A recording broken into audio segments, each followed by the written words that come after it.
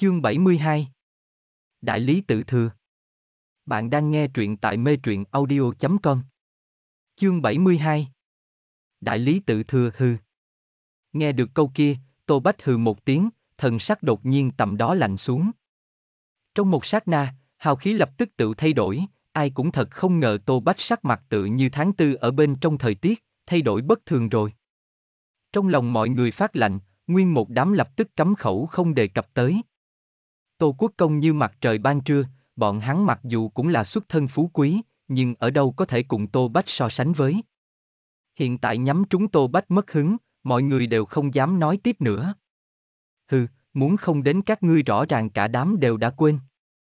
Xem ra, cần ta nhắc tới tỉnh các ngươi, các ngươi chẳng lẽ đã quên, chúng ta thế nhưng mà còn có hơn một ngàn lượng vàng tại vương sung chỗ đó. Chuyện trọng yếu như vậy, các ngươi rõ ràng không nhớ rõ. Tô Bách sắc mặt lạnh lùng. Thoáng cái mọi người lập tức đều kịp phản ứng. Mọi người rốt cục minh bạch Tô Bách tại sao phải lần đầu tiên ở bát thần các bên trên mời khách rồi. Một ít cùng Tô Bách vốn không thế nào người thân cận, lập tức hối hận cuốn quyết, lần này thực không nên trở ngại Tô Bách mặt mũi đến bát thần các đến. Cái này rõ ràng là Tô Bách muốn lợi dụng bọn hắn đi đối phó vương gia. Đây là một hồi vương gia, Tô gia cùng Diêu gia ở giữa chính trị tranh đấu, Tô Bách không quan tâm, hắn có thể ở bên trong chơi, nhưng là bọn hắn lại chơi không dậy nổi. Loại này đế quốc đỉnh cấp gia tộc ở giữa tranh đấu, bốc lên không tốt, cuốn vào, là muốn tan thành mây khói. Trong nhà đột nhiên tầm đó đại họa lâm đầu chỉ sợ cũng không biết chuyện gì xảy ra. Tô thiếu, ta, ta bụng có chút. Đầu tiên nói trước, thiếu nợ thì trả tiền, thiên kinh địa nghĩa. Lúc trước là mọi người cùng nhau tại bát thần các mượn, hôm nay mọi người cũng cùng một chỗ muốn, nếu ai dám không đi, tự là không để cho ta mặt mũi. Về sau trong nhà xảy ra chuyện, cái gì trưởng bối, thân thích, phụ thân bị giáng chức quan, ngoại trừ chức, cũng không nên nói ta không có nhắc nhớ trước các ngươi. Không đợi những con dòng cháu giống kia kiếm cớ ra miệng, Tô Bách lập tức đoạt trước một bước một đánh lùi bọn hắn.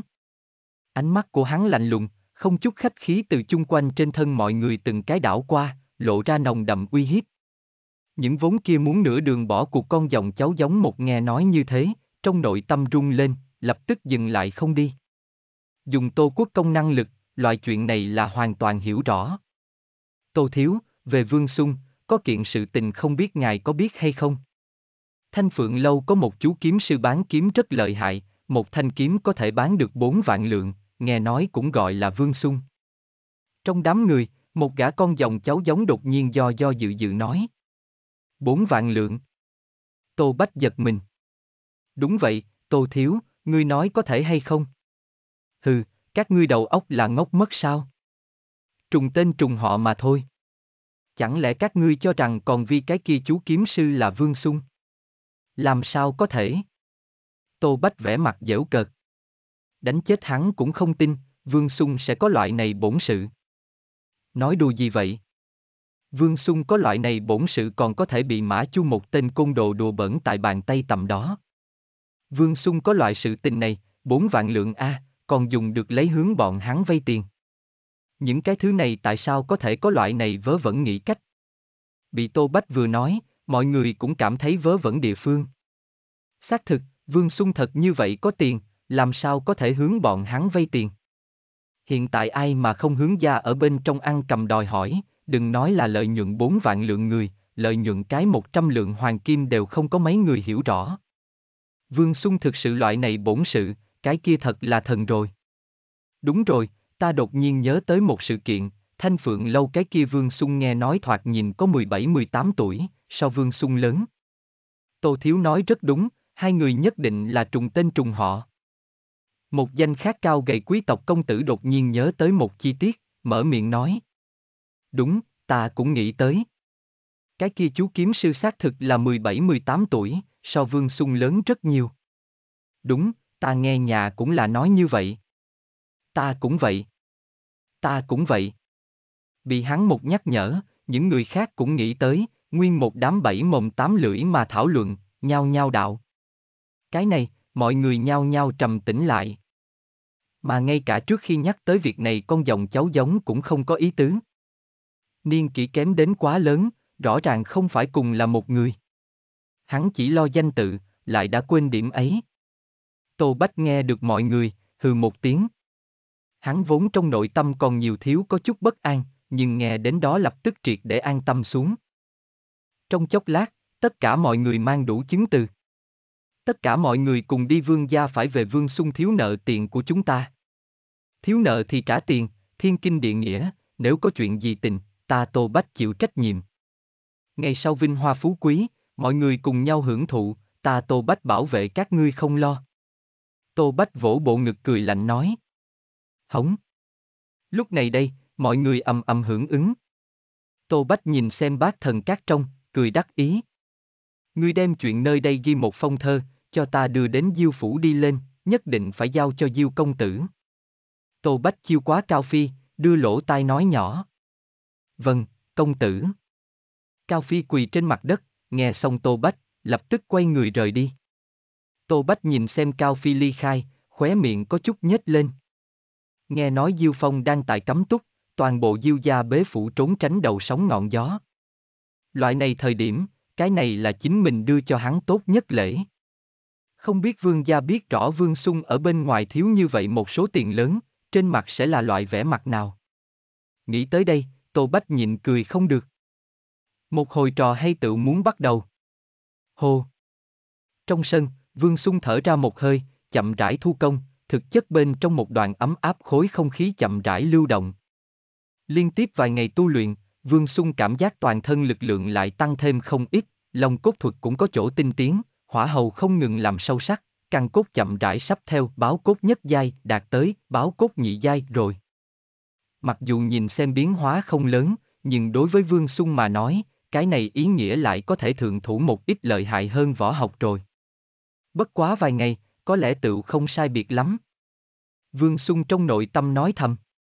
Hắn hiện đang chuyên tâm võ công, đã không chỉ là buổi tối tu luyện, ban ngày cũng kéo dài tu luyện thời gian, tu vi tiến cảnh bên trên, đều so với quá khứ tăng tiến không ít. Chấm dứt tu luyện về sau, Vương Xung cùng mẫu thân nói an, vừa giống như thường ngày đồng dạng, ra khỏi nhà. Bất quá lần này đi ra ngoài, Vương Xung đột nhiên cảm giác có chút không quá đồng dạng. Vương Xung đến rồi, Vương Xung đến rồi. Đột nhiên, một hồi kêu to truyền đến. Vương Xung còn không có kịp phản ứng, tự chứng kiến xa xa trên đại thụ nhảy hạ một đạo thân ảnh. Đón lấy nhìn như tầm thường đường đi đột nhiên bạo động. Bốn phương tám hướng, từng chiếc xe ngựa không biết từ nơi này xuất hiện, đột nhiên hướng vương phủ phương hướng vọt tới. Ngăn chặn hắn, đừng làm cho hắn đi rồi. Vương Sung, ngươi muốn đi nơi nào? Vương Sung, thiếu nợ thì trả tiền, thiên kinh địa nghĩa, ngươi cho rằng lại được rồi chứ? Trên đường phố đột nhiên âm âm. Vương Sung phía trước thời điểm còn như lâm đại địch, nhưng nghe đến cuối cùng một câu đột nhiên nở nụ cười, hắn đã hiểu là chuyện gì xảy ra rồi. Công tử, chuyện gì xảy ra? Chúng ta đi bên trong gọi người. Thân Hải, Mạnh Long trước tiên xuất hiện tại Vương Sung bên người, nguyên một đám nhìn xem bên ngoài mãnh liệt xe ngựa, như lâm đại địch. Không cần. Ta một người tự có thể giải quyết được. Vương Sung khoát tay áo.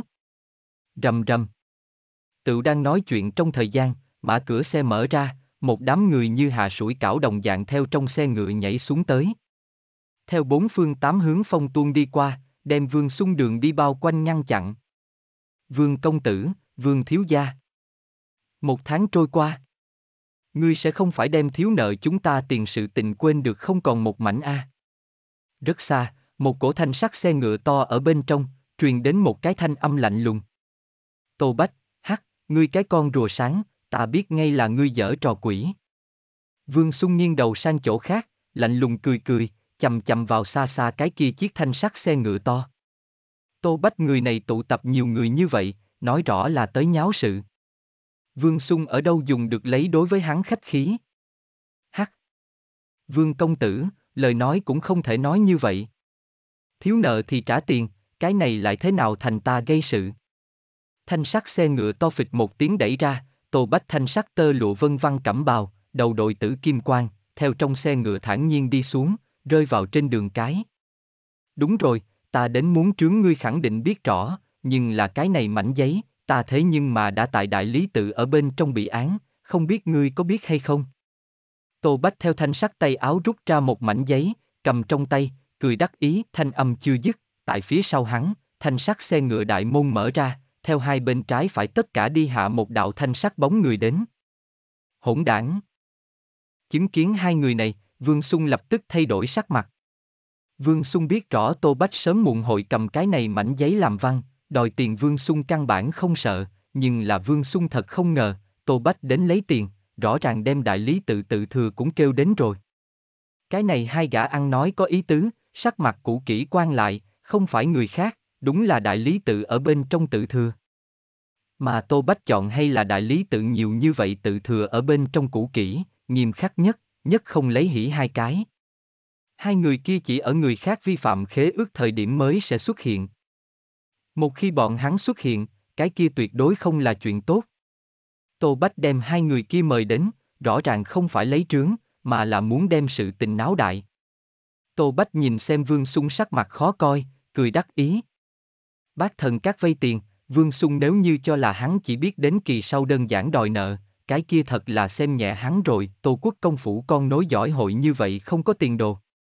Lần này tới, hắn là cố ý đem đại lý tự hai gã nhất thiết diện vô tư tự thừa kêu đến. Hiện tại, hắn sẽ dạy cho Vương xung cái gì gọi là chính trị. Cái gì gọi là thủ đoạn. Vương công tử, những sợi này là ngươi viết a à, Tô công tử nói ngươi thiếu nợ bọn hắn 1.700 nhiều lượng hoàng kim, thế nhưng mà sự thật. Tô Bách bên trái đại lý tự tự thừa đạo. Cái này chính là một cái nhìn xem cũng rất nghiêm khắc tiểu lão đầu, người không cao, hoa râm tóc, sắc mặt cũ kỹ như là nham thạch, lúc nói chuyện, ngoại trừ nhiều nếp nhăn bờ môi nhúc nhích hai cái, toàn thân không chút sức mẻ, giống như thây khô đứng ở đó ở bên trong đồng dạng, nhìn xem tựu lại để cho người sợ hãi. Triều đình pháp lệnh ngươi nên biết. Thiên tử phạm pháp cùng thứ dân cùng tội, tự coi như ngươi là cửu công cháu ruột, cũng giống như vậy. Một danh khác lão đầu mặt không biểu tình đạo, đồng dạng gầy cùng thay khô đồng dạng. Thanh âm vừa rụng, bốn phương tám hướng, vô số ánh mắt ngay ngắn hướng nhìn phía đứng tại vương gia cửa lớn vương sung, vẻ mặt xem kịch vui thần sắc. Hai vị đại nhân, cái này giống như không hợp quy củ A. Vương Sung không để ý đến Tô Bách, mà là nhìn về phía hai gã đại lý tự tự thưa. Đại lý tự, chỉ có tại đối phương không cách nào hoàn thành khế ước thời điểm mới sẽ xuất hiện. Hiện tại khế ước còn không có thực hiện, hai vị đại nhân có phải hay không đến sớm hơi có chút. Tô Bách không sao cả, nhưng là cái này hai cái đại lý tự quỷ đòi mạng đồng dạng tự thừa, nhất định phải nghĩ biện pháp trước đuổi đi.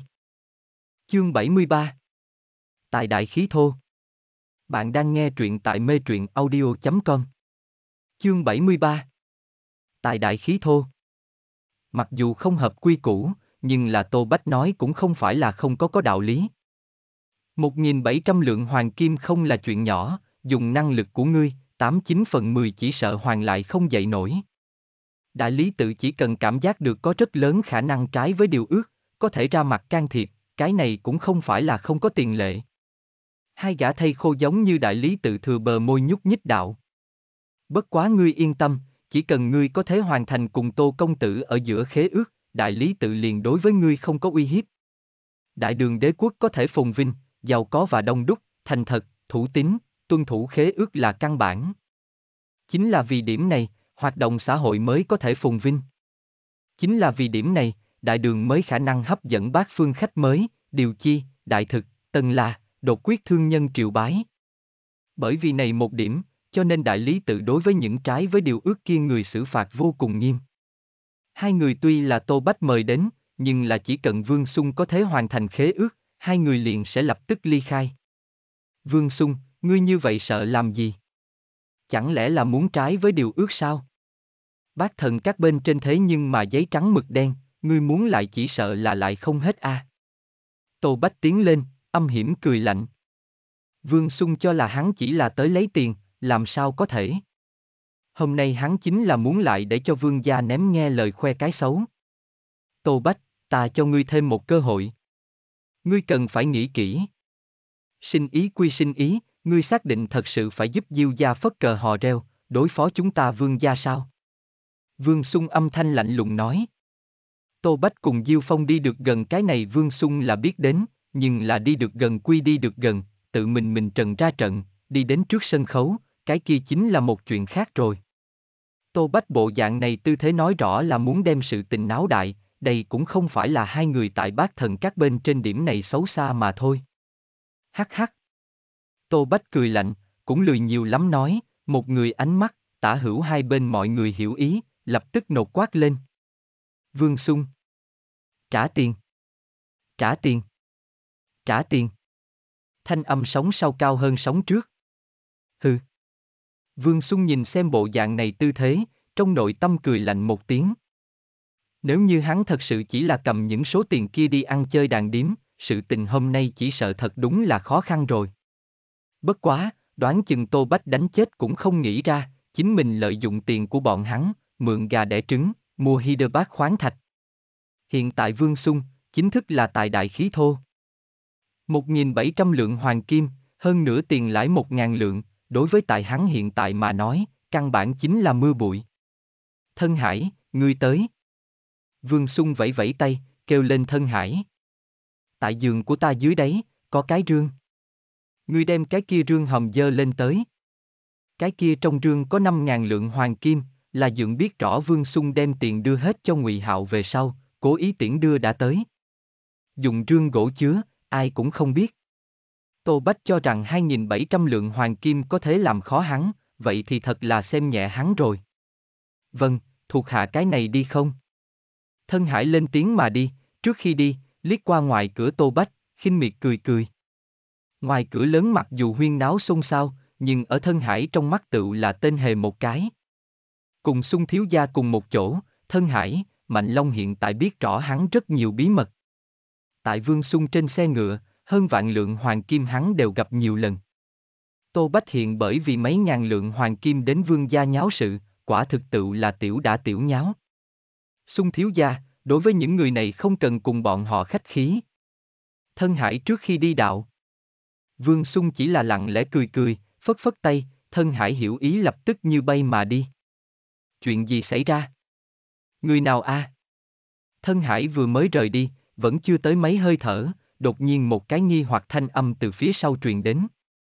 Thanh âm chưa dứt, một gã thanh váy Mỹ phu nhân mặt mũi tràn đầy nghi hoặc theo trong cửa lớn đi ra, ở sau lưng nàng, là một đoàn lão mụ tử cùng nha hoàng. Mẹ! Chứng kiến đạo này thân ảnh, vương sung sắc mặt đại biến. Hắn đã tận khả năng giảm bớt chuyện này ảnh hưởng, không nghĩ tới hay là kinh động đến mẫu thân. Vương phu nhân chính trong phủ nghỉ ngơi, đột nhiên tựu đã nghe được rất lớn rối loạn thanh âm, cũng không biết xảy ra chuyện gì, lúc này mới ra đến xem. Tô công tử. Chứng kiến trong đám người Tô Bách, vương phu nhân giật mình. Nàng lại nhận ra Tô Bách, trước kia trong cung thời điểm bái kiến Tô phu nhân mang theo Tô Bách. Ngươi tại sao lại ở chỗ này? Vương phu nhân vẻ mặt kinh ngạc. Hắc hắc, vương phu nhân, ngài tới vừa vặn. Lệnh lan thiếu nợ chúng ta 1.700 lượng hoàng kim, đây chính là giấy trắng mực đen, cũng không phải là vu hãm các ngươi. Tô Bách rung lên trên tay tờ giấy, âm hiểm cười cười. Đúng rồi, thuận tiện nói một câu, đây chính là hai phần tiền lãi. Cái gì? Nghe được Tô Bách, vương phu nhân trước mắt một hắt, như là bị sét đánh trong đồng dạng, thân hình lay động một cái, thiếu chút nữa đứng cũng không vững. Vương phu nhân tuyệt đối thật không ngờ, Vương Xung lại có thể biết lưng cổng mình ở bên ngoài thiếu người khác hơn một ngàn lượng hoàng kim, hơn nữa còn là hai phần tiền lãi. Đối với Vương Phu Nhân mà nói, đây quả thực nghĩ cũng không dám nghĩ. Vương gia căn bản thừa đảm đương không nổi lớn như vậy nợ nần. Hắc hắc. Thấy như vậy một màn, Tô Bách cười đắc ý, hắn trong chờ mong sự tình rốt cục đã xảy ra. Vương Xung tại bác thần các vay tiền sự tình, hắn cơ hồ có thể khẳng định vương gia nhân khẳng định không biết. Hắn tụ tập nhiều người như vậy, phất cờ hò reo, tự là muốn đem sự tình náo đại, lại để cho vương gia, muốn cho chỗ không ai biết chuyện này. Vương gia lớn như vậy toàn gia, mỗi tháng thế nhưng mà không ít tiêu dùng. Vương nghiêm điểm này phụng lộc, thế nhưng mà gần kề đủ dưỡng cái này một đoàn hộ vệ, lão mụ tử, nha hoàng mà thôi. Mỗi tháng còn lại tồn dư, nhìn xem có hay không một trăm lượng hoàng kim. Hơn một ngàn lượng hoàng kim, tăng thêm tiền lãi, đây chính là tiếp cận ba ngàn lượng rồi, như vậy một số lớn khoản tiền, xem vương gia như thế nào còn. Không xong. Nhìn xem mẫu thân nhìn qua mục thân, vương sung trong nội tâm lập tức trầm xuống. Hắn vẫn muốn muốn bất tri bất giác giải quyết chuyện này, không muốn kinh động mẫu thân, không nghĩ tới hay là sự tình phát. Xuân Nhi, Tô Công Tử nói là sự thật sao? Vương phu nhân cắn răng, sắc mặt tái nhợt vô cùng. Thoạt nhìn, Vương Xuân không chỉ là thiếu Tô Bách, liếc trông đi qua, chung quanh nơi này rậm rạp chằng chịt, không biết đến rồi bao nhiêu thế gia công tử, còn không biết thiếu bao nhiêu người tiền. Đây quả thực là to gan lớn mật. Vừa mới đối với Vương Xuân có chút ấn tượng tốt, không nghĩ tới lại thói cũ nảy mầm rồi. Mẫu thân, ngươi hãy nghe ta nói. Chuyện này không hề giống như ngươi nghĩ. Vương Xung kiên trì đạo. Ngươi chỉ muốn nói cho ta, Tô Công Tử nói, rốt cuộc là, còn có phải hay không? Vương Phu Nhân chầm chầm vào Vương Xung, thanh sắc đều lệ. Vâng. Vương Xung cúi đầu nói. Ngươi. Ngươi. Ngươi. Vương Phu Nhân tức giận đến toàn thân phát run, một ngón tay chỉ vào Vương Xung lời nói đều nói không nên lời. Phu Nhân, xin bớt giận. Phu Nhân, xin bớt giận. Chứng kiến Phu Nhân tức giận đến không nhẹ, một đám lão mụ tử, nhà hoàng tranh thủ thời gian tiến lên nâng, mát xa, thương ngực, lại vội vàng khích lệ Vương Sung nói. Thiếu gia, ngươi thiếu nói vài lời a. Vương Sung trong lòng cũng là ám đạo không xong. Bác thần các cùng hy đơ bác sự tình, hắn một mực không có nói cho mẫu thân. Nguyên nhân rất đơn giản, Vương Xung không hy vọng mẫu thân quá quan tâm. Biết đến nhiều chuyện rồi, mẫu thân khẳng định tránh không được đông muốn tay tưởng. Hơn nữa mình bây giờ cũng dài đại, có một số việc cũng có thể tự mình giải quyết. Như vậy cũng có thể giảm bớt mẫu thân áp lực, làm cho nàng nhẹ lỏng một ít. Mặt khác bác thần các cùng hy bác sự tình, Vương Xung cũng không có chuẩn bị vĩnh viễn gạt mẫu thân, chỉ là thoạt nhìn, chính mình tự hồ lựa chọn một cái kém cỏi nhất thời cơ.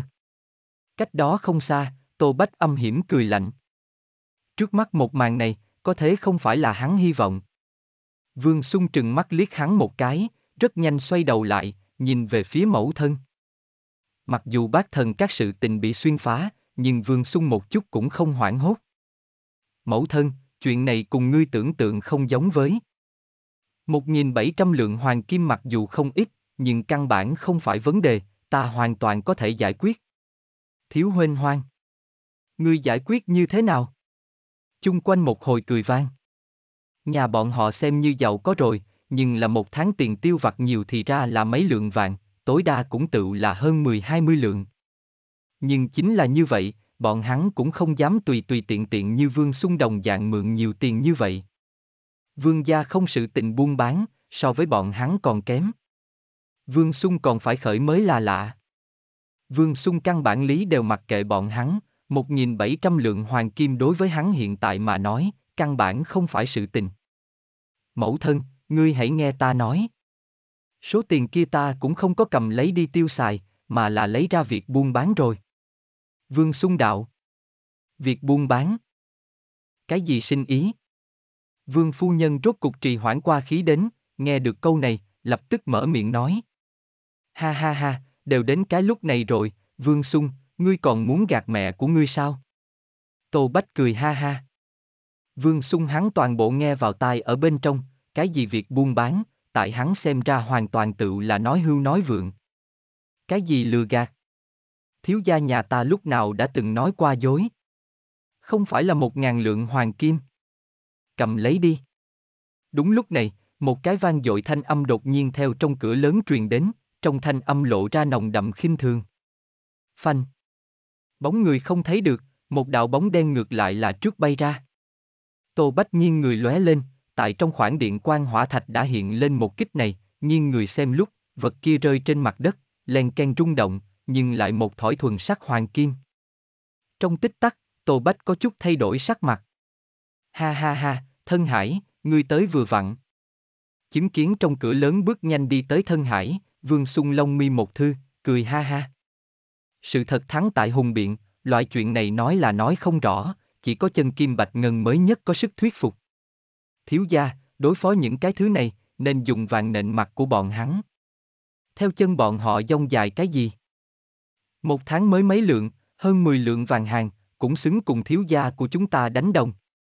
Thân hải khinh miệt nhìn xem bên ngoài mọi người, trong tay nâng rương gỗ đi nhanh mà đến, mấy trăm cân thứ đồ vật trong tay hắn nhẹ như không có gì.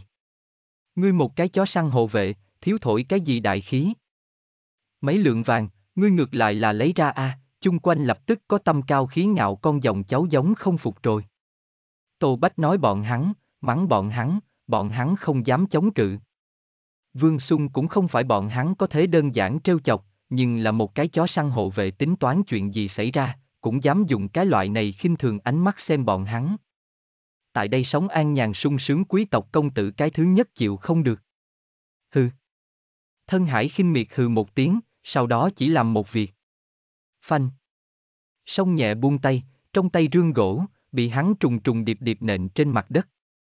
Rương hầm cây gỗ bị hắn nện phá thành mảnh nhỏ, nhanh phong trong rương, một mảng lớn ánh vàng rực rỡ thứ đồ vật bừng lên, rõ ràng toàn bộ đều là hoàng kim. Bá. Trong một sát na, mọi người hô hấp đều đình trệ rồi mà ngay cả vương phu nhân triệu thục hoa cũng ngây dại, theo nha hoàng nhóm trong ngực đứng dậy, xem trên mặt đất cái kia một đống lớn hoàng kim, nói không ra lời. Vương gia trước cửa, thời gian đều phản phất ngưng lại. Điều đó không có khả năng. Tô Bách mở to lấy hai con mắt, đây là trong đầu duy nhất nghĩ cách. Chương 74 Ngự sử trung thừa Bạn đang nghe truyện tại mê truyện audio.com Chương 74 Ngự sử trung thừa vương gia dòng dõi rất nghiêm, vương sung một tháng tiền tiêu hàng tháng mới bất quá mấy lượng bạc, tại Tô Bách tính toán ở bên trong, vương sung là tuyệt kế cầm không xuất ra nhiều như vậy hoàng kim. Nhưng là hiện tại, tại đây đâu chỉ một ngàn lượng hoàng kim A. Tô Bách là trợn tròn mắt. Vương Xung cùng thân hải, Mạnh Long tin tường cảm thấy loại biến hóa này, ba người đều nở nụ cười. Công tử, đối với những người này không cần phải khách khí, tự làm như thế nào tài năng tốt. Thân hải đạo. Đúng vậy, đối phó loại lũ tiểu nhân này, nên như vậy. Mạnh Long ở một bên phụ họa lấy đạo. Đối với Vương Xung, hai người tâm lý đã trải qua một cái trước sau hoàn toàn trái lại cự biến hóa lớn. Vương Xung cùng Mã Chu bọn hắn ở bên ngoài hồ đồ, cho trong nhà gây chuyện thời điểm, hai người vẫn luôn là không thích. Nhiều khi, hai người đều là tại trong lòng nhiều có phỉ nghị. Nhưng là theo Vương Xung một thời gian ngắn về sau, hai người đối với Vương Xung cách nhìn lập tức đã trải qua khẽ đảo lông trời lỡ đất biến hóa. Hai người thấy tận mắt chứng nhận Vương Xung làm ra rất nhiều không thể tưởng tượng nổi sự tình. Tại hai người trong mắt, Vương Xung đã nghiễm nhiên là vương gia kiệt xuất nhất, có tiền đồ nhất tiểu công tử, hai người giữ gìn còn không kịp. Hiện tại nếu ai nói Vương Xung nói bậy, người đó là theo chân bọn họ là địch, hai người cái thứ nhất cùng hắn gấp. Tô Bách ở bên ngoài vu oan nhà mình công tử, thân hải ở đâu có thế chịu được. Làm tốt lắm. Vương Xung âm thầm vĩnh lên cái ngón tay cái, khen một tiếng. Sự thật thắng tại hùng biện, nói nhiều hơn nữa, đều không có thân hải một trương vàng nện trên mặt đất tới chấn nhiếp, hữu hiệu. Thân hải cái kia một đập thật sự là dịu đến hào đỉnh. Sao Vương Xung chính mình tự mình đi làm còn có hiệu quả? Vương gia trước cổng chính, im ắng, mỗi người đều bị Vương xung nện trên mặt đất 5.000 lượng hoàng kim chấn trụ rồi. Mà ngay cả Vương xung mẫu thân Triệu Thục Hoa đều ngay người nói không ra lời. Vương xung tổng cộng cầm qua hai lần mấy vạn lượng hoàng kim, nhưng là lần đầu tiên hoàng kim chưa đi đến nhà mình môn, trong kinh thành cuốn cái vòng, trực tiếp tự tiến vào A-la già, A-la-na hai gã thân độc đại hòa thượng trong túi. Lần thứ hai, một nửa cho Ngụy Hạo, một nửa khác cho Đại Dượng. Đây là Vương Xung lần thứ nhất mang hoàng kim về nhà, hơn nữa còn là dùng rương hòm phong kín. Bởi vậy, mà ngay cả Vương Phu Nhân cũng không biết. Nhiều như vậy hoàng kim, mặc dù đối với Vương gia mà nói, cũng là một số khó có thể tưởng tượng khoản tiền lớn. Vương Phu Nhân cố tình hỏi thăm Vương Xung nhiều tiền như vậy là nhiều nơi nào đến, nhưng vẫn là nhịn được, hiện tại cũng không phải là hỏi cái này thời điểm. Ngươi, ngươi nơi nào đến nhiều như vậy tiền? Một gã hoàng khố công tử thì thào tự nói, con mắt chầm chầm trên mặt đất theo trong rương rò rỉ ra đến hoàng kim, còn lộ ra thật sâu khiếp sợ.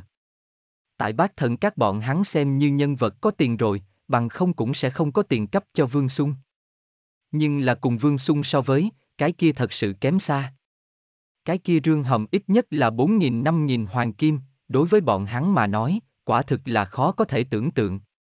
Cơ hồ là đột nhiên tầm đó, mọi người đột nhiên tầm đó cũng cảm giác được cùng Vương Xung trước khi chênh lệch cực lớn, tối tăm bên trong, một đầu cực lớn khe rãnh vắt ngang tại bọn hắn cùng Vương Xung tầm đó. Khe rãnh bên này là bọn hắn, mà cái kia một bên Vương Xung, sớm đã vượt ra khỏi bọn hắn cấp độ, đã trở thành mọi người khó có thể nhìn lên tồn tại. Vương Xung hay là cái kia Vương Xung nhưng nhìn tại trong mắt mọi người, lại cảm thấy trên người hắn nhiều hơn một loại làm cho người chấn nhiếp thứ đồ vật. Cái này tựu không cần các ngươi quản. Vương Xung ánh mắt đảo qua bốn phía, lạnh lùng cười cười. Không phải là 1.700 nhiều lượng hoàng kim sao? Bằng sợi đến lĩnh A thuận tiện nói một câu, ta vốn chuẩn bị mỗi người tỷ lệ phát sinh cao 100 lượng hoàng kim, bất quá, các ngươi đã trợ giúp Tô Bách đối phó ta, cái kia tự nhiên là đã không có. Phần này ban thưởng, chỉ có thể để lại cho những hôm nay kia không có tới được rồi. 100 lượng. À, ta đã sớm nói không nên tới rồi. Xung thiếu, mặc kệ chuyện của ta. Vừa mới ta một chữ đều không có hô. Ta cũng không có a, à, xung thiếu, ta chỉ là đi ngang qua. Nghe được một trăm lượng hoàng kim cứ như vậy không có, ở đây lập tức một mảnh kêu trên. Những địa vị kia thấp, xuất thân thấp hèn người tự nhiên trêu chọc không được Tô Bách, cũng trêu chọc không nổi sau lưng của hắn Tô Quốc Công. Nhưng là đại đường triều đình, Tô Quốc Công cũng còn chưa tới một tay che trời tình trạng.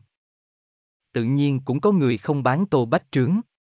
Bọn hắn vốn là muốn hiến một cái nhân tình, nhưng hiện tại ném đi một trăm lượng hoàng kim, vậy làm sao chịu được? Cái này đều chống đỡ mà vượt chính mình đã hơn một năm tiền tiêu hàng tháng rồi. Đây cũng không phải là số lượng nhỏ. Cầm ăn chơi đàn điếm, nói bậy biển uống, đều có thể dùng thật lâu rồi. Bởi vì tô bách một món đồ như vậy làm không thành sự tình, tổn thất nhiều như vậy vàng, nguyên một đám ruột đều hối hận thanh rồi. Hắc hắc, thiếu gia cao minh. Thân hải, Mạnh Long ngoài miệng chưa nói, trong nội tâm đã sớm nhếch môi. Đây mới gọi là lợi hại a, không cần ra một phần tiền, dăm ba câu tựu lại để cho đem tô bách bên trong xé rách rồi. Một ít tình tử nhanh chóng, đã sớm đối với tô bách chửi ầm lên rồi. Trước kia cũng không phát hiện, thiếu gia rõ ràng lợi hại như vậy.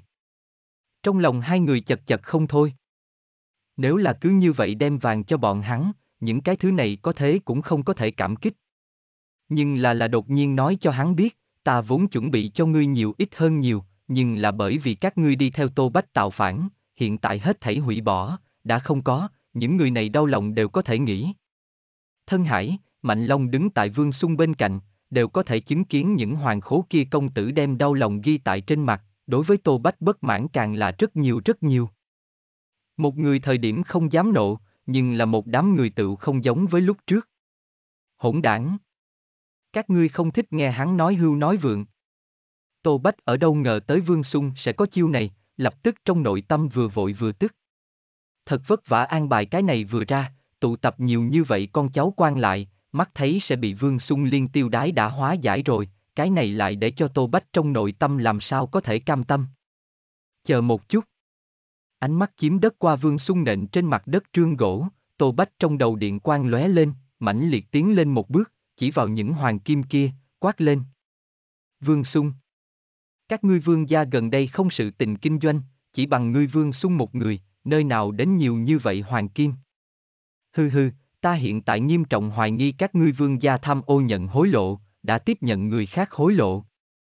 Tô Bách ánh mắt hùng hổ dọa người, chầm chầm vào vương sung, thật giống như liếc muốn nhìn thấy phổi của hắn phủ ở chỗ sâu trong.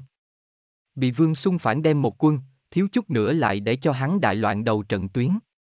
Bất quá, Tô Bách rốt cục kịp phản ứng, một cái vương gia, nhiều năm ở vào nhập không đủ suất trạng thái, nơi nào đến nhiều như vậy hoàng kim. Tô Bách là tuyệt kế không tin vương gia có thể tiết kiệm nhiều tiền như vậy, trong lúc này tuyệt đối có vấn đề. Phó ngự sử Duy trì trật tự đủ loại quan lại, túc chính kỹ cương, đây là của ngươi này chức trách. Uổng vương gia từ trước đến nay tự cho mình thanh chính liêm khiết, lại vụng trộm tham ô nhiều như vậy hoàng kim, chuyện này ngươi cũng không thể mặc kệ sao. Tô Bách đột nhiên xoay người lại, quay đầu nhìn về phía sau lưng một cái khác chiếc thanh thông xe ngựa to đạo. Chi ách, theo mã cửa xe mở ra, một gã áo bào tím tóc trắng lão giả trầm mặt, theo trong xe ngựa đi ra. Lão giả này cũng không biết trong xe ngựa nghe xong bao lâu, thẳng đến cái lúc này, nghe được Tô Bách mời đến, mới từ bên trong đi ra. Vương Xuân cũng không nhận ra lão giả này, nhưng nhìn đến hắn bên hông cái khác, cá phù, lập tức sắc mặt kịch biến. Đây là người đại đường ngự sử, hơn nữa còn là ngự sử trung thừa. Tô Bách vì đối phó hắn, không chỉ đưa tới đại lý tự thừa, nhưng lại đưa tới một gã đại đường ngự sử. Tô Bách Vương Xuân hung hăng chầm chầm vào Tô Bách, sắc mặt âm trầm vô cùng. Đưa tới đại lý tự thừa, gây chuyện không tốt tối đa chính là hắn Vương Xuân một người nhốt vào đại lý tự nhà tù. Nhưng là đưa tới triều đình ngự sử, Tô Bách mục tiêu có thế cũng không phải là một mình hắn rồi mà là cả vương gia, đây là đem vương gia hướng trong chết đắc tội, căn bản không có cho mình lưu chuyển hoàng chỗ trống rồi. Hơn nữa đường đường triều đình ngự sử, không tại trong triều đình thương lượng quốc gia đại sự, lại uống lượng tại một chiếc xe ngựa ở bên trong, nghe chính mình những tiểu nhi này tại đây đánh võ mồm, muốn nói Tô Bách không phải mưu đồ đã lâu, đánh chết hắn cũng không tin. Tô Bách, đây chính là ngươi tự tìm. Vương xung trong mắt hiện lên một vòng hung quang. Vương Phu Nhân, Vương Công Tử, vừa mới trong xe ngựa, mọi chuyện cần thiết ta đều thấy được. Tô Công Tử, chắc hẳn các ngươi cũng đã nghe được. Vương gia cũng không phải là nhà đại phú, cửu công thanh liêm, càng là gần đây vi triều đình và dân chúng chỗ kính nể. Ta cũng không muốn hoài nghi vương gia, nhưng là cái này một cái rương hoàng kim, chỉ sợ cũng không phải vương gia có thể dựa vào bổng lộc tích góp từng tí một xuống. Lão phu thân phụ ngự sử giám sát đủ loại quan lại, túc chính kỹ cương trách nhiệm, chuyện này ta chỉ sợ phải cho triều đình chưa công cùng với bệ hạ bỉnh báo. Phó ngự sử tiếng nói rất chậm, cơ hồ là từng chữ từng chữ nhổ ra. Nhưng là từng cái chữ nhổ ra, đều phản phất có thiên quân chi trọng. Vương gia đại môn chung quanh, mọi người nộ khí vốn đều tập trung ở tô bách trên người. Nhưng là tại đây tên phó ngự sử xuất hiện về sau, cả đám đều câm như hến, nửa chữ cũng không dám nhiều lời, trong ánh mắt càng là tràn đầy sợ hãi. Tại đại đường, không nữa so những ngự sử kia càng làm cho người sợ hãi được rồi. Một chữ nói sai, một câu chưa nói tốt, rơi vào triều đình ngự sử trong tai, đều là có thể thượng tấu gãy vạch tội. Tại đại đường, coi như là nhất bất hảo không chịu nổi ăn chơi thiếu gia cũng biết, tại đại đường ai cũng có thể trêu chọc, tự là không thể trêu chọc những triều đình này ngự sử. Bất luận cái gì một gã ngự sử chung quanh 10 km dặm trong đều là cấm khu, tuyệt đối không có bất kỳ con cháu quan lại dám ở những ngự sử này chung quanh hồ thiên vườn hoa, để tránh cho trong nhà đưa tới mối họa. Mọi người ai cũng thật không ngờ, Tô Bách lại có thể biết đem một cái triều đình ngự sử vụng trọng tàn trong xe ngựa, hơn nữa cùng bọn họ cùng lên đến vương gia. Tô Bách tên hỗn đảng này, hắn điên rồi sao? Rõ ràng dám đem ngự sử mang tới, hắn không biết cái này phạm vào tối kỵ sao. Trong lòng mọi người lại kiên kỵ, lại ghét hận. Tô Bách đối phó Vương Xung không có quan hệ, nhưng hắn đem ngự sử mang đến, quả thực là đem mọi người cũng khung đến trên lửa. Vì đối phó Vương gia, đầu nhập vào Diêu gia cùng Tề Vương, hắn quả thực là dùng bất cứ thủ đoạn tồi tệ nào rồi. Mọi người quả thực hận không thể tự cách Tô Bách cùng cái kia phó ngự sử cách xa vạn dặm, nhưng hết lần này tới lần khác hiện tại mọi người ai cũng không dám động. Một khi bị ngự sử nhìn chăm chăm vào, cái kia thực đúng là phiền toái lớn rồi. Tô Bách tin tường cảm thấy hào khí biến hóa, nhưng hắn không thèm quan tâm, ngược lại dương dương đắc ý, ánh mắt chỉ nhìn chầm chầm Vương Xung một người trên người. Vương Xung a Vương Xung, ngươi cho rằng ta chỉ có chút bổn sự ấy sao? Đã muốn mượn ngươi đầu hiến diêu gia, không có hai tay chuẩn bị ngươi cho rằng ta sẽ đến. Tô Bách trong nội tâm cười lạnh liên tục. Tại trước khi đến, hắn tự đã làm tốt vạn toàn chuẩn bị. Vạn nhất Vương Xung còn không dậy nổi cái kia 1.700 lượng hoàng kim, như vậy hai cái đại lý tự thừa chính là hắn đưa cho vương gia lễ vật, có bọn hắn nhất định có thể đem sự tình náo đại. Mà vạn nhất xuất hiện cái gì yêu thiêu thân, Vương Xung rõ ràng có thể còn phải lên, mặc dù hắn căn bản không tin tưởng loại chuyện này sẽ phát sinh, như vậy khác một chiếc xe ngựa ở bên trong ngự sử trung thừa cũng đồng dạng phái mà vượt công dụng. Bất kể như thế nào, vương gia đều tai kiếp khó tránh khỏi. xung Nhi Vương phu nhân cầm lấy vương xung tay tích có, sắc mặt tái nhật vô cùng. Ngự sử xuất hiện tại vương cửa nhà, đây không phải việc nhỏ. Chỉ sợ ngày mai vương gia muốn tại trên triều đình đã bị chỉ trích rồi, vương phu nhân mặc dù vô cùng có chủ kiến, nhưng đều là chút ít trong nhà dài ngắn.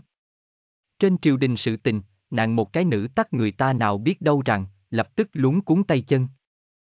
Chương 75 Đệ nhất thiên hạ đại chú kiếm sư Bạn đang nghe truyện tại mê truyện audio.com Chương 75 Đệ nhất thiên hạ đại chú kiếm sư, mẹ, đừng lo lắng. Chuyện này ta đến xử lý. Vương Xung nắm chặt tay của mẫu thân đạo. Cái gì phó ngự sử, người khác sợ hắn đáng sợ. Trải qua nhiều như vậy sóng to gió lớn, hắn há lại sẽ sợ một cái ngự sử vạch tội. Cái này phó hòa, Vương xung cũng biết một chút. Hắn và đại bá Vương tuyên chính kiến không cùng, gia gia cửu công tại đại đường bị thụ tôn trọng, nhưng hắn tự hồ đặc biệt không quen nhìn điểm ấy, luôn muốn tìm ra. Mặt khác, sở hữu ngự sử bên trong, hắn không thể nghi ngờ cùng Tô Quốc công quan hệ gần đây. Bằng không, Tô Bách cũng không hồi sao mà to gan như vậy, dám đem hắn thỉnh đã tới. Phó ngự sử, ngươi thật đúng là rảnh rỗi a, ngự sử giám sát đủ loại quan lại, túc chính kỹ cương, lúc nào biến thành giám sát người bình thường sinh ý, chúng ta vương gia bổng lộc xác thực tích lũy không dậy nổi mấy ngàn lượng hoàng kim, nhưng là vương gia tích lũy không dậy nổi, chẳng lẽ ta cũng không được sao? Vương Xung biết rõ lai lịch của hắn, nói chuyện cũng tự không thế nào khách khí. Nghe được Vương Xung nói chuyện, tất cả mọi người là hoảng sợ. Tại ngự sử trước mặt mỗi người đều là cẩn thận từng ly từng tí, có thể không nói đừng nói, có thể ít nhất tự ít đi nói, nhiều lời nhiều sai, ít nhất thiếu sai, đều e sợ cho bị ngự sử cáo vào triều đình, Vương Xung rõ ràng dám đảm đương mặt chống đối ngự sử. Công tử, bớt tranh cãi. Ngự sử không phải hay nói giỡn. Thân hải, Mạnh Long cúi đầu, ở phía sau nhẹ nhàng kéo Vương xung tay áo. Hai người bọn họ là quân ngũ bên trong đại quê mùa, nhưng ở kinh thành chờ đợi vài năm, cũng minh bạch có ít người là tuyệt đối không thể gây. Vương công tử, ngươi nói là những số tiền này là ngươi lợi nhuận hay sao? Phó ngự sử con mắt co rụt lại, lần thứ nhất chăm chú dò xét vương phu nhân bên cạnh vương sung. Đúng vậy. Vương Xung không chút do dự đạo. Tô Bách thông qua phó ngự sử, muốn từ điểm đó trảo hắn nắm chắc, thật sự chính là tìm lộn chỗ. Hắn thông qua Hyderabad khoáng thạch, từng bước một đúc nóng đao kiếm kiếm tiền, những điều này đều là có theo có thế tra, tự tính toán ngự sử muốn tra hắn, cũng tuyệt đối không lời nào để nói. Ha ha ha, chê cười, Vương Xung chỉ bằng ngươi. Không đợi phó ngự sử mở miệng, Tô Bách liền không nhịn được ha ha nở nụ cười. Hắn là tuyệt không tin Vương Xung có loại này bổn sự. Loại này vớ vẩn lấy cớ, quả thực tự là đem những người khác đương kẻ đần. Hắn Vương Xung thật như vậy có bản lĩnh, Vương gia chỉ sợ sớm đã phú quý rồi, ở đâu còn nói cái gì thanh liêm. Thanh liêm là cái gì? Không có tiền nhân tài gọi thanh liêm. Đang tại ngự sử mặt, Vương Xung rõ ràng dám nói hưu nói vượng, ăn nói lung tung. Vương công tử, người tốt nhất hay là nói thật? Chuyện này cũng không phải là việc nhỏ. Phó ngự sử cũng chậm chậm mở miệng nói, trong thanh âm lộ ra một cổ nghiêm khắc hương vị. Vương Xung đang tại hắn mặt, rõ ràng dám nói hưu nói vượng, cái này lại để cho hắn rất không thoải mái. Đây quả thực là đối với ngự sử quyền uy khiêu chiến. Hừ, có tin hay không là tùy ngươi. Ta nói là ta lợi nhuận, chính là ta lợi nhuận, chẳng lẽ còn dùng được nói dối. Ngự sử quyền lực tuy lớn, nhưng giống như cũng còn không có lớn đến loại tình trạng này a, ta như thế nào kiếm tiền, chẳng lẽ cũng có hướng ngươi báo cáo sao? Vương Sung âm thanh lạnh lùng nói. Làm càng. Nghe được Vương Sung, Phó Hòa giận tím mặt. Vương phu nhân ngươi rốt cuộc là như thế nào giáo hài tử?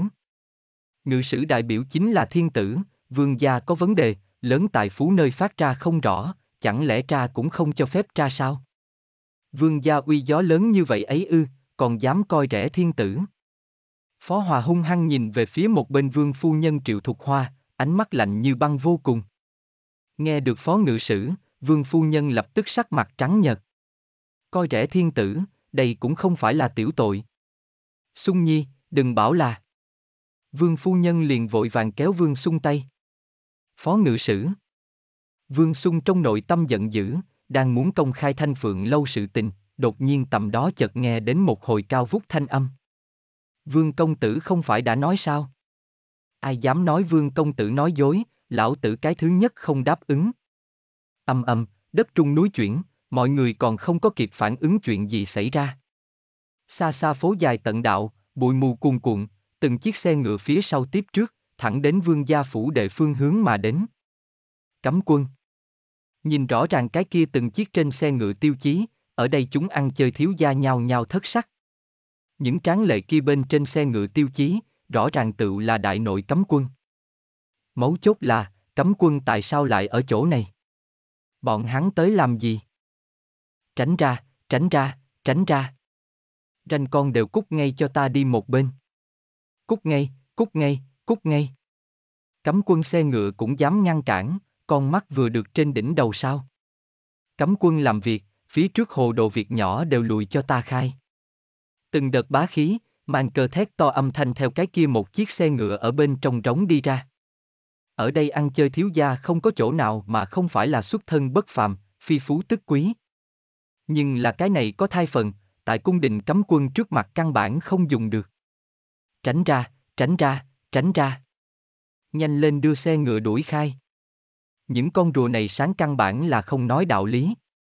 Chứng kiến cái kia một đám cấm quân phía sau tiếp trước, khí thế hung hung, một chút cũng không có dừng lại dấu hiệu, chúng con dòng cháu giống sắc mặt kịch biến, nhào nhào đốc thúc lấy xe ngựa của mình phu đưa xe ngựa đuổi mở.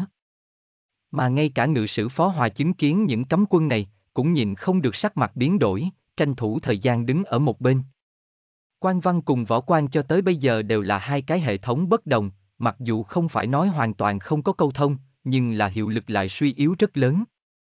Hắn có thể theo lý cố gắng, không e dè ở trên triều đình vạch tội một gã tên tương, thậm chí trực tiếp nói thẳng đương kim thánh thượng, nhưng là đối với những đồng dạng này đại biểu cho thiên tử thủ vệ cấm quân lại không có gì biện pháp tốt. Âm âm, một đám cấm quân xe ngựa như hổ vào bầy dê, xông vào chúng con dòng cháu giống làm thành vòng tròn, hoàn toàn là như vào chỗ không người. Chúng con dòng cháu giống nhau nhau né tránh, như tránh ôn dịch. Mau nhìn. Đột nhiên, có người phát hiện cái gì? Đón lấy những người khác cũng phát hiện. Cấm quân. Những người này rõ ràng còn là cấm quân đầu lĩnh. Nhìn xem mấy cổ xe ngựa thân xe bên trên, cái kia tất cả báo hình, hình rồng, hổ hình, kỳ lân hình, chúng con dòng cháu giống vẻ mặt hoảng sợ, vốn đã rời khỏi ba bốn trượng người, cái này hội lui xa hơn rồi.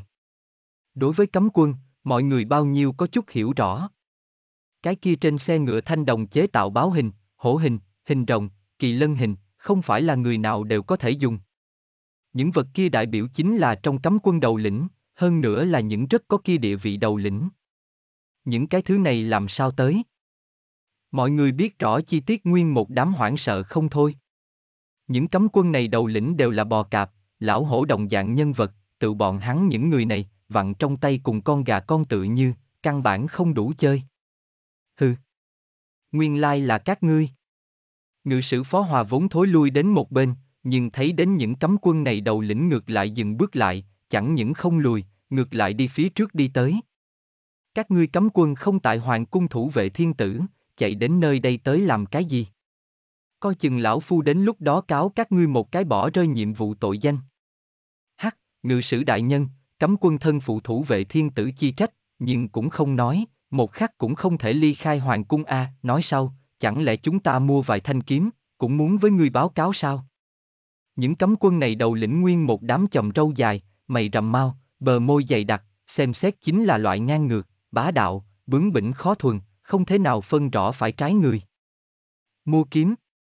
Tô Bách trong nội tâm lộc bộc nhảy dựng, ẩn ẩn nhớ ra cái gì đó. Có ý tứ gì? Cái gì mua kiếm? Phó ngự sử mặt âm trầm nói. Hắc, chẳng muốn nói cho ngươi.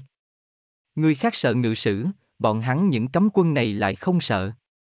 Cấm quân là thiên tử thủ vệ, đại biểu chính là thiên tử, có thể trừng phạt bọn hắn, chỉ có bọn hắn người lãnh đạo trực tiếp cùng đương kim thánh thượng. Ngự sử nhưng lại không ở trong đám này. Hắc hắc hắc, công tử đừng tìm những người thô kệch này gặp so sánh, tại hạ cấm quân đằng xà quân tướng lĩnh trương tùng ra mắt công tử. Không phải là mấy ngàn lượng vàng sao? Vì như vậy ít tiền rõ ràng vu hãm công tử. Ta trong xe ngựa có năm vạn lượng hoàng kim, công tử chỉ để ý cầm lấy đi. Thật sự là mù mắt của bọn hắn rồi, liền đệ nhất thiên hạ đại chú kiếm sư cũng không nhận ra. Công tử đúc kiếm thật là xinh đẹp, cầu công tử cũng vì ta đúc một ngụm. Bao nhiêu tiền ta đều ra. Hỗn đảng. Ta đều chưa nói đấy. Công tử giúp ta cũng đúc một chỉ A. Công tử, năng lực của ngươi ta tin được. Ngươi đúc kiếm, ta yên tâm. Chỉ là có một điểm, cái kia đào kiếm bên trên bảo thạch, thực không thế nào xinh đẹp. Cái này không, tự chính mình mang đã tới. Công tử ngươi chọn lựa lấy xem, tự dùng những bảo thạch này, còn lại toàn bộ quy ngài. Thì có một cái yêu cầu, giúp ta đúc xinh đẹp điểm. Yêu cầu nhiều như vậy. Công tử, ta cùng bọn họ không giống với, ngươi đúc cái gì, ta muốn cái gì, giúp ta cũng đúc một thanh kiếm. Mọi người ở đây trợn mắt há hốc mồm trong thần sắc, một đám vừa mới còn ngang ngược cấm quân tướng lãnh, quay người lại ngay tại Vương Xung trước mặt thay đổi một bộ sắc mặt, khúng núng, quả thực lại để cho người không dám nhìn nhau. Cái kia nịnh nọt bộ dạng, cái kia nịnh nọt bộ dạng, quả thực lại để cho người đều không thể tin được, cái này là vừa mới đám kia mắt cao hơn đỉnh, sông mạnh sông thẳng cấm quân đầu lĩnh. Cái này, đây là có chuyện gì? Một đám người trợn mắt há hốc mồm, hoàn toàn phản ứng không kịp. Vương Xung lúc nào lớn như vậy ma lực rồi, rõ ràng lại để cho những cấm quân này có thể trở nên như vậy khiêm tốn rồi. Vương phu nhân đồng dạng trợn mắt há hốc mồm, một đám lão mụ tử, nha hoàng, nô bộc toàn bộ hai mặt nhìn nhau, cuối cùng ánh mắt toàn bộ rơi xuống Vương Xung trên người. Trước mắt một màn này thật bất khả tư nghị, cũng chỉ có Vương Xung mới có thể giải thích được thông. Vương Xung trong nội tâm dở khóc dở cười, hắn đồng dạng không rõ đây là có chuyện gì. Bọn này cấm quân tới quá đột nhiên, hắn hoàn toàn không có đầu mối, chỉ có thể ẩn ẩn đoán được một điểm, hẳn là cùng chính mình chế tạo ô tư cương kiếm có quan hệ. Nhưng tại sao phải đột nhiên ở thời điểm này đến, thật đúng là không rõ. Chờ một chút. Các ngươi xác định các ngươi không có lầm ấy ư, các ngươi người muốn tìm thực đúng là Vương Xung. Đột nhiên một thanh âm theo bên cạnh truyền đến, Tô Bách từ trong đám người đi ra. Thần sắc của hắn tỉnh táo đáng sợ. Hắn là tuyệt kế không tin Vương Xung là cái gì đệ nhất chú kiếm sư, chứng kiến những người này xuất hiện, hắn phản ứng đầu tiên tự là những những người này không là tìm lộn chỗ, hay hoặc là tìm nhầm người. Ngươi là người nào? Ở chỗ này hô to gọi nhỏ hay sao? Mù mắt chó của ngươi rồi, liền đệ nhất thiên hạ đại chú kiếm sư cũng không nhận ra. Hắc hắc, ngay cả chúng ta cũng không dám gọi thẳng công tử danh tự, tiểu tử này rõ ràng dám gọi thẳng đại sư danh tự. Lăng ngươi, đứng một bên đi. Đại sư, ngài đừng nóng giận. Loại này tiểu tử không đáng ngươi động khí, nếu không, ngươi thay ngươi động thủ giáo huấn hắn. Tô Bách một câu nói được dẫn tới một đám cấm quân giận dữ mắng mỏ không thôi, nói thẳng được hắn sắc mặt tái nhợt, khó coi không thôi. Chương 76 Tô Bách lao ngục tai ương. Bạn đang nghe truyện tại mê truyện audio.com Chương 76 Tô Bách lao ngục tai ương. Tô Bách từ nhỏ đến lớn, muốn gió được gió, muốn mưa được mưa, tăng thêm người lại thông minh, trên cơ bản không hướng mà bất lợi, lại đâu chịu nổi loại này nhục nhã. Nhưng hết lần này tới lần khác trong cấm quân đầu đều là một ít người thô kệch, dựa vào là đều là thực lực nói chuyện. Tô Bách tên tuổi đối với bọn họ nửa điểm dùng cũng không có. Vương Xung Hôm nay nhục nhã, ta sớm muộn hồi trả lại cho ngươi. Tô Bách không đối phó được những thực lực cường đại này cấm quân đầu lĩnh, trên thực tế, hắn liền những cấm quân này đầu lĩnh tên gọi cái gì cũng không biết, bởi vậy một hơi toàn bộ phát đã đến Vương Xung trên người. Vương Xung không biết Tô Bách tâm tư, cũng chẳng muốn đi lý, xem Tô Bách như vậy đỏ bừng cả khuôn mặt, vừa thẹn vừa giận bộ dạng, còn rất thú vị. Bất quá, so sánh với cái kia, bọn này đột nhiên xuất hiện cung đình cấm quân mới là Vương Xung hiện tại chú ý, đến bây giờ mới thôi, Vương Xung cũng không biết tại sao phải có cái này một đoàn cấm quân phía sau tiếp trước chen chút đến cửa nhà mình khẩu. Hơn nữa nhiều như vậy cầu người, cũng là Vương Xung phải xử lý. Các vị, đúc kiếm sự tình, trong chốc lát đến bên trong nói sau. Vương Xung tâm niệm một chuyển đạo, bên ngoài đám người càng tụ càng nhiều, có thế không phải chỗ nói chuyện. Oanh! Nghe được Vương Xung lên tiếng, chúng cấm quân hỉ nét mặt tươi cười hình, nhao nhao ầm ầm hưởng ứng. Nghe công tử. Công tử nói làm sao bây giờ tự làm sao bây giờ, ai dám quấy rối, đừng trách lão tử không khách khí. Công tử, ngài cứ việc phân phó. Chúng ta đều nghe ngài. Công tử, ngươi nhất định phải đáp ứng cho chúng ta đúc kiếm A, nếu mua không được ô tư cương kiếm, ta sẽ chết. Nghe một đám người nịnh nọt thanh âm, Tô Bách sắc mặt trận thanh trận hồng, trong nội tâm thầm hận không thôi. Trong triều đình đám kia cấm quân, gần đây mắt cao hơn đầu, ai cũng không phục, lúc nào bái kiến bọn hắn như vậy ăn nói khép nét, a du nịnh hót. Cái này Vương Xung không biết có cái gì ma lực, rõ ràng khiến cho những cấm quân này đầu lĩnh biến thành cái dạng này. Tô Bách khá tốt, ở đây mặt khác quyền quý công tử đã sớm xem trận tròn mắt. Cái này Vương Xung. Cũng thật lợi hại a. Rõ ràng lại để cho cấm quân tướng lãnh đều đối với hắn như vậy nịnh nọt. Chúng ta rõ ràng còn nghĩ đến phải giúp Tô Bách đối phó hắn. Mười cái Tô Bách đều không phải là đối thủ của hắn a, đây là lấy trứng chọi với đá. Một gã tên quyền quý đệ tử nhìn xem bị chúng cấm quân ủng đám ở chính giữa Vương Xung, trong nội tâm không ngừng hâm mộ, cũng không biết mình lúc nào mới có thể như Vương Xung đồng dạng uy phong bát diện, đã bị nhiều như vậy cấm quân lấy lòng. Nhưng ở hâm mộ ngoài, trong nội tâm lại cảm thấy thật sâu kính sợ. Hiện tại Vương Xung đã xa xa đã vượt ra bọn hắn cái này cấp độ, biến thành lại để cho người nhìn lên tồn tại. Mạnh Long, ngươi đi làm thoáng một phát. Đem cái này rương vàng mang theo, lại để cho bọn hắn cầm tờ giấy đến, đem bác thần các bên trên mượn những bạc kia đều cho đoái thoáng một phát. Không để ý đến bên ngoài mọi người, Vương Xung chỉ huy một bên Mạnh Long đạo. Vâng, thiếu gia. Mạnh Long đáp. Nói mà có tính, mặc dù những quyền quý này lai giả bất thiện, nhưng là một mã sự tình quy nhất mã sự tình, thiếu gia loại tính cách này hắn hay là rất ưa thích. Đến, đến, đến, đều đến nơi đây, thiếu gia nhà ta rộng lượng, không so đo các ngươi, đều đến nơi đây thực hiện bạc của các ngươi a. À. Mạnh Long bắt đầu triệu hô những quyền quý kia đệ tử đạo. Nghe được có thể lấy tiền, mọi người một mảnh hoang hô, nhao nhao mạnh vọt qua, đối với Vương Xung hảo cảm, lập tức tăng gấp đôi. Vì đại nhân này, mỗi người tiễn đưa một trăm lượng hoàng kim sự tình còn có thể thực hiện không? Một gã quyền quý đệ tử cẩn thận từng ly từng tí đạo. Lăng ngươi. Mạnh Long mắng to, mọi người một mảnh cười vang, cùng vương gia quan hệ trong đó nhưng lại hòa hoãn không ít. Vương Xung thấy như vậy một màn, mỉm cười, đang muốn quay người đi vào trong đi, đột nhiên tầm đó, ánh mắt xẹt qua bên ngoài một đạo thân ảnh, ánh mắt lạnh lẽo, nghiêm nghị quát. Tô Bách, ngươi hướng chạy đi đâu? Một tiếng này quát chói tai phản phất kinh lôi cuồn cuộn, theo vương gia trước cổng chính trên đường phố không xẹt qua. Mấy chục bước bên ngoài, Tô Bách toàn thân rung lên, bước chân im bặt mà dừng, tự dừng lại ở đằng kia chiếc thanh sắt xe ngựa to trước vài bước xa địa phương. Mà cùng một thời gian, bốn phương tám hướng, vô số ánh mắt ngay ngắn hướng nhìn phía vị này Tô Quốc công con nối dõi trên người. Vốn là ầm ầm đường đi trong một sát na yên tĩnh mà chết, hào khí đột nhiên tầm đó lại trở nên nhanh sụp đổ. Vương Xung, ngươi muốn như thế nào? Tô Bách thời gian dần qua xoay người lại, nhìn xem trên bậc thang Vương Xung, trên mặt lúc trắng lúc xanh. Tình thế đại biến, hiện tại tình cảnh của hắn phi thường bất lợi, vốn muốn vụng trộm trượt lên xe ngựa, ly khai tại đây, không nghĩ tới hay là bị Vương Xung phát hiện. Hừ, đến đều đến rồi, ngươi sẽ không cho rằng khinh địch như vậy có thể đi thôi. Vương Xung ống tay áo phất một cái, âm thanh lạnh lùng nói. Cái này Tô Bách Hiệp thế mà đến, thậm chí vụng trộm kéo tới đại lý tự thừa cùng ngự sử phó hòa, chính là vì tại tiền nợ bên trên làm văn, đối phó vương gia. Tô Bách đối phó chính mình, vương sung còn có thể miễn cưỡng hãy thứ cho. Nhưng là đối với vương gia làm khó dễ, cái kia chính là vạch mặt, không có gì hay nói rồi.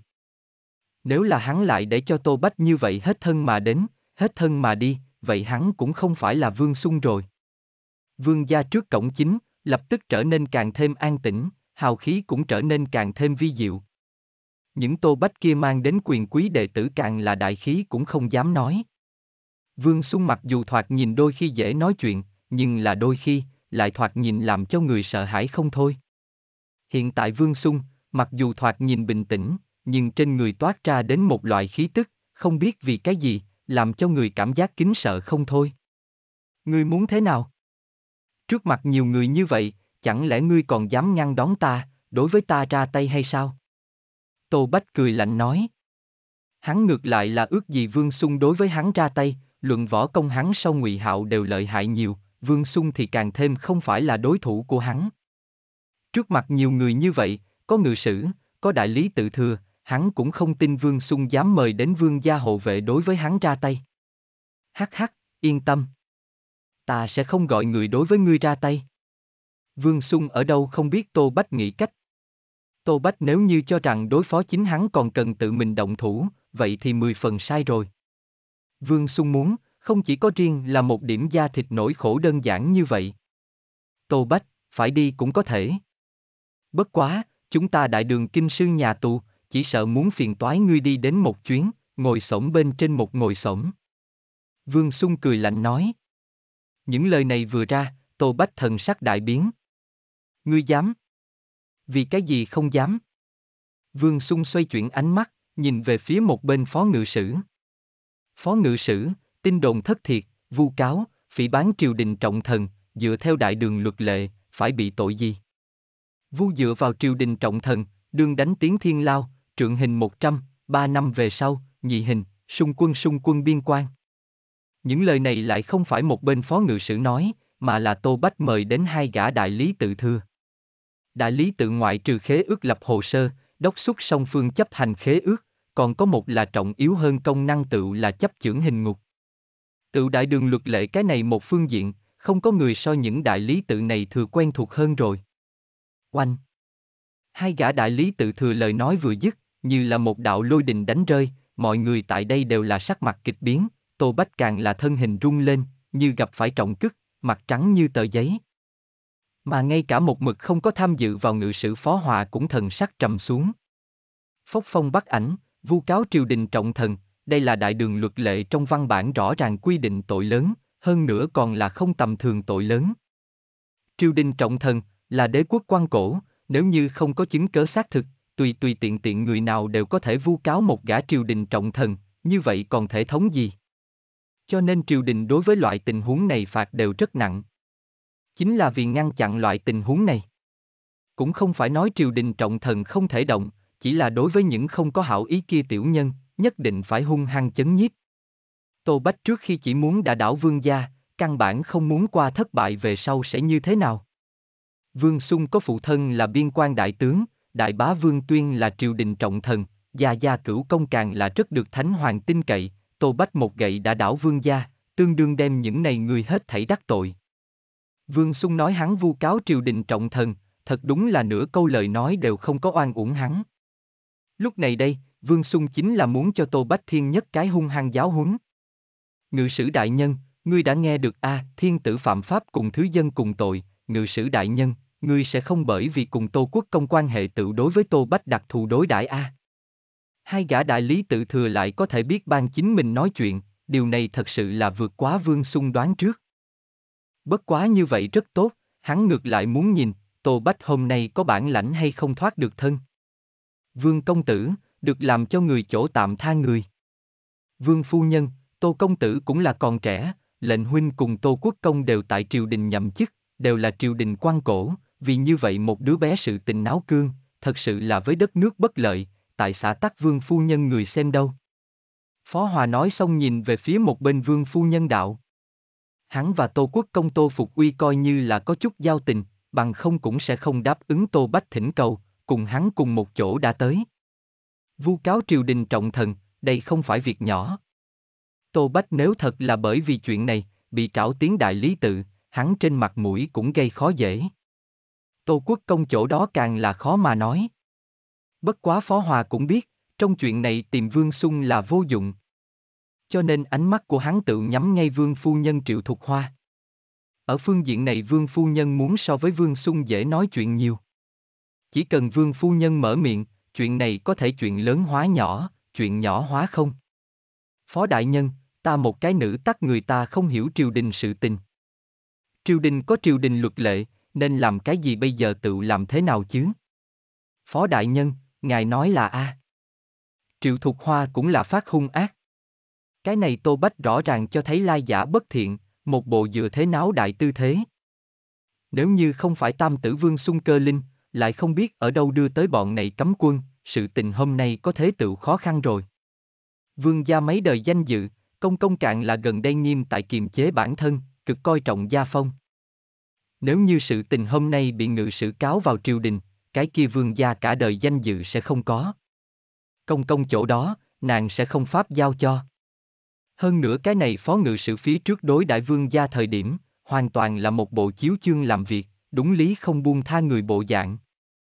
Đối với cái này tô bách, rồi lại thay đổi một cái khác phó sắc mặt, cái gì được làm cho người chỗ tạm tha người, điều này cũng làm cho vương phu nhân sinh lòng ác cảm, thì càng thêm không có khả năng giúp hắn rồi. Phu nhân Phó Hòa biến sắc. Hắn không nghĩ tới vương phu nhân rõ ràng đột nhiên trở nên mạnh như vậy thế. Đừng nhiều lời. Phó đại nhân, triều đình có quy củ của triều đình, ngươi bây giờ là muốn tổn hại cương thường sao? Vương Xung lập tức đã cắt đứt ngự sử phó hòa, không để cho hắn nhiều lời cơ hội, Vương Xung mặt lạnh lấy, nhìn về phía một bên thay khô giống như hai gã đại lý tự thưa. Hai vị đại nhân, ta đối với đại lý tự gần đây kính trọng. Các ngươi sẽ không phải bởi vì Tô Bách có phụ thân là đương triều quốc công, tự đối với hắn phóng bên trên một con ngựa a. Làm sao có thể? Hai gã đại lý tự thừa thanh âm lúc này nghe vào vương sung trong tai, quả thực như là âm thanh thiên nhiên. Người tới, đem Tô Bách cho ta mang về.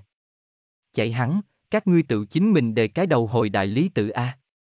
Vâng, đại nhân. Sớm có người qua đi, một trái một phải hợp với Tô Bách, nhắc tới hắn hướng trong xe ngựa đi đến.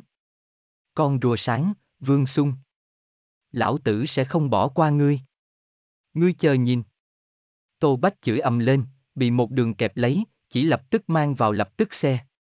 Hai gã mặt chết giống như đại lý tự thừa cũng không nhiều lời, quay người đến, lập tức tự lên xe ngựa, ầm ầm mà đi, lập tức biến mất tại đường đi cuối cùng. Chương 77 Phát Đạt. Bạn đang nghe truyện tại mê truyện audio.com Chương 77 Phát Đạt. Tô Bách rất nhanh bị lôi đi, tự tính toán phụ thân hắn Tô Quốc công quyền thế đào thiên, khắp nơi vận tác, cũng phải tiêu tốn một thời gian ngắn, trong khoảng thời gian này đầy đủ Tô Bách tại trong lao hảo hảo nghỉ ngơi một thời gian ngắn, vĩnh viễn nhớ kỹ cái này đoạn giáo huấn rồi. Đi. Chúng ta đi bên trong đàm. Đem chuyện bên ngoài giao cho Mạnh Long, thân hải xử lý, Vương Xung rất nhanh mời đến cấm quân các tướng lĩnh, hướng trong phủ đệ đi đến. Vương công tử thật sự là thủ đoạn. Một đám cấm quân tướng lãnh nhìn đến thanh thanh sở sở, nhếch lên ngón tay cái nhau nhau khen một tiếng. Vương Xung cách làm, xem khi bọn hắn những cấm quân này trong mắt, chẳng những không có gì, ngược lại có chút nhận đồng. Vương Xung cười cười, cũng không có nhiều lời, đem những này nghênh tiến vào trong phòng khách. Khẽ đảo thân thể to lớn nói chuyện với nhau xuống, mặc dù còn không biết chuyện cụ thể, nhưng là vương cơ bản có thể xác định, sở dĩ rất nhiều cấm quân tướng lãnh sẽ xuất hiện tại cửa lớn, cùng trong cấm quân triệu phong trần thoát không được quan hệ. Về phần những người này ý đồ đến cũng rất đơn giản, bọn hắn tự là đến mua kiếm, có ít người thậm chí liền đầy xe hoàng kim đều kéo đã tới, mà đổi thành một ít, tắc thì ngại vương xung khảm tại ô tư cương trên thân kiếm mã não, trân châu, bảo thạch vô cùng tiện nghi, bởi vậy tự mình dẫn theo hộp lớn đỉnh cấp mã não, trân châu, bảo thạch tới, lại để cho vương xung tùy tiện chọn lựa. Tóm lại một câu, chỉ cần có thể đạt được một thanh ô tư cương kiếm, những người này bất kể thành phẩm. Vương Xuân một bên nghe những người này nói xong, một bên yên lặng suy nghĩ. Ô tư cương kiếm thông qua thanh phượng lâu bán kiếm đã mở ra thanh danh, ngụy hạo hai kiếm giúp mình chặt đứt sở hữu thế gia đại tộc bảo kiếm, giúp mình xác lập ô tư cương kiếm thiên hạ đệ nhất kiếm tên tuổi. Mà đem đệ nhất chui ô tư cương kiếm bán cho Triệu Phong Trần, cũng thành công giúp mình tại trong cấm quân mở ra tên tuổi. Tại đặc thù bầy trong cơ thể, Vương Xung xem như sơ bộ mở ra chính mình thị trường. Bất quá, chuyện kế tiếp hội trọng yếu hơn. Vật dùng hiếm là quý, nhiều như vậy cấm quân đều đến cầu kiếm, Vương Xung là không thể nào từng cái đáp ứng. Bằng không mà nói, trong cấm quân nhân thủ một thanh, ô tư cương giá cả trên diện rộng ngã xuống. Đây tuyệt đối không phù hợp Vương Xung phát tài đại kế. Nhưng là nhiều như vậy cấm quân, cự tuyệt bọn hắn cũng là tuyệt đối không được. Ô tư cương sắc bén, chắc hẳn các ngươi đã biết rõ. Tự trong đại sảnh một đám cấm quân riêng phần mình xiển tự yêu cầu của mình, bảy mồm tám lưỡi mà thảo luận thời điểm, Vương Xung đột nhiên mở miệng nói. Mới mở miệng lập tức hấp dẫn sở hữu chú ý. Càng lợi hại đao kiếm, lại càng là hao phí thời gian. Một thanh phổ thông thiết kiếm, khả năng nửa ngày tự đi ra. Nhưng là một thanh đỉnh cấp tuyệt đối không có cái kia nhanh. Vương Xung đạo. Đúng vậy, đúng vậy. Công tử nói rất đúng. Nghe nói những đúc kiếm thế gia kia, một thanh phổ thông bảo kiếm đều được hơn một tháng, công tử đúc chính là thiên hạ đệ nhất kiếm, cái kia tự nhiên muốn hao phí càng nhiều nữa tâm huyết cùng thời gian. Công tử nếu như là lo lắng thời gian, không vội, không vội. Bọn chúng ta đợi được rất tốt. Một đám người nhao nhao phụ họa, đây cũng không phải lấy lòng, mà là thật tâm vui lòng phục tùng. Vương Xuân mặc dù mới chỉ có 15 tuổi, nhưng ở trong mắt mọi người, thiên hạ của hắn đệ nhất đại chú kiếm sư tên tuổi nhưng lại xứng đáng cái tên, hoàn toàn là dựa vào thực lực dốc sức làm đi ra. Nhân vật như vậy mặc kệ hắn bao nhiêu, đều có thể đạt được mọi người thừa nhận. Là trọng yếu hơn là, ô tư cương kiếm lợi hại bọn hắn thế nhưng mà thấy tận mắt thức, cái kia cho bọn hắn thật sâu rung động cùng trùng kích. Nếu như không phải như vậy, bọn hắn là không thể nào cùng một chỗ phong vọt tới vương gia. Tất nhiên mọi người minh bạch, vậy thì càng tốt hơn. Vương Xung ngồi ở đại sư trên mặt ghế khẽ cười nói, hắn tuổi không lớn lắm, nhưng ở một đám địa vị phi phạm cấm quân tướng lãnh ở bên trong, tự nhiên mà vậy toát ra một loại thành thục, hào phóng, ổn trọng hương vị, tuyệt không rơi xuống phương. Mọi người muốn mua kiếm, ta cũng không phản đối. Nhưng là ta đúc kiếm quy củ. Vương Xung nói đến đây ngừng lại, thanh âm của hắn thông dong tự tin, cho người một loại tin phục lực lượng. Bốn phương tám hướng, sở hữu cấm quân tướng lãnh lập tức đều lộ ra lắng nghe thần sắc. Từng đại chú kiếm sư đều có một ít đặc thù háo sắc cùng quy củ, Vương Xung có chút quy củ, mọi người cũng không ngoại lệ, bởi vậy đều nghe vô cùng cẩn thận. Thứ nhất, ta chế tạo kiếm đều là tinh phẩm, cho nên mỗi một kiếm đều tốn hao đại lượng thời gian cùng tâm huyết. Bởi vậy, đúc kiếm thời gian cần một tháng. Không có vấn đề, không có vấn đề. Mọi người nhao nhao phụ họa. Sở dĩ nhìn trúng Vương Xung, muốn mua kiếm của hắn, tự là coi trọng kiếm của hắn độc nhất vô nhị, viễn siêu mặt khác đao kiếm phẩm chất. Bằng không mà nói, trong kinh thành nhiều như vậy kiếm lâu, kiếm phố, làm gì phiền toái như vậy? Vương Xung loại này chăm chú, chăm chú tinh thần, mọi người là phi thường tán thưởng. Thứ hai, mỗi một chủng kiếm ta chỉ biết đúc kiếm, bởi vậy mỗi một chui kiếm bất luận kiểu dáng, kiểu dáng, phong cách cũng sẽ là độc nhất vô nhị. Hơn nữa tuyệt sẽ không xuất hiện thứ hai chui. Vương Xung duỗi ra một ngón tay đạo. Những ý nghĩ này, Vương Xung là vừa vặn mới tại trong đầu thành hình. Vật dùng hiếm là quý, những cấm quân này tướng lãnh chỉ là bắt đầu, nếu như người trong thiên hạ đều đem mình làm đệ nhất thiên hạ đại chú kiếm sư, như vậy Vương Xung tự tuyệt đối không thể đánh tạo lập lại vũ khí, như vậy mới có thể trợ giúp dựng đứng hình tượng của mình, hơn nữa đem lợi ích lớn nhất hóa. Mỗi tháng một thanh vũ khí, hơn nữa mỗi loại vũ khí đều ủng không có cùng kiểu dáng, kiểu dáng, phong cách. Yêu cầu như vậy, đối với mặt khác chú kiếm sư tuyệt đối là cái không nhỏ áp lực.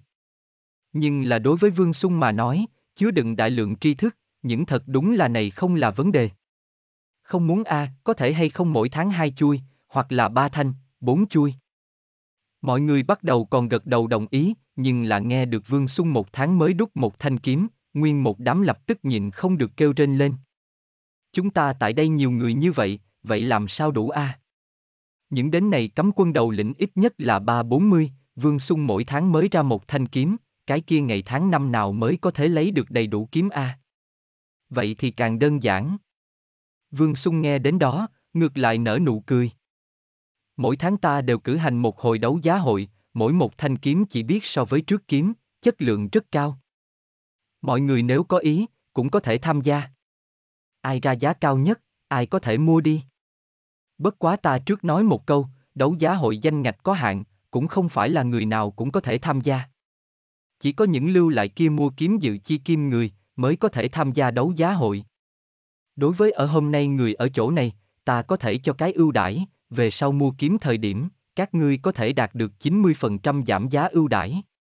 Về phần đằng sau đến những người khác, cái kia cũng không phải là cái giá tiền này rồi. Oanh!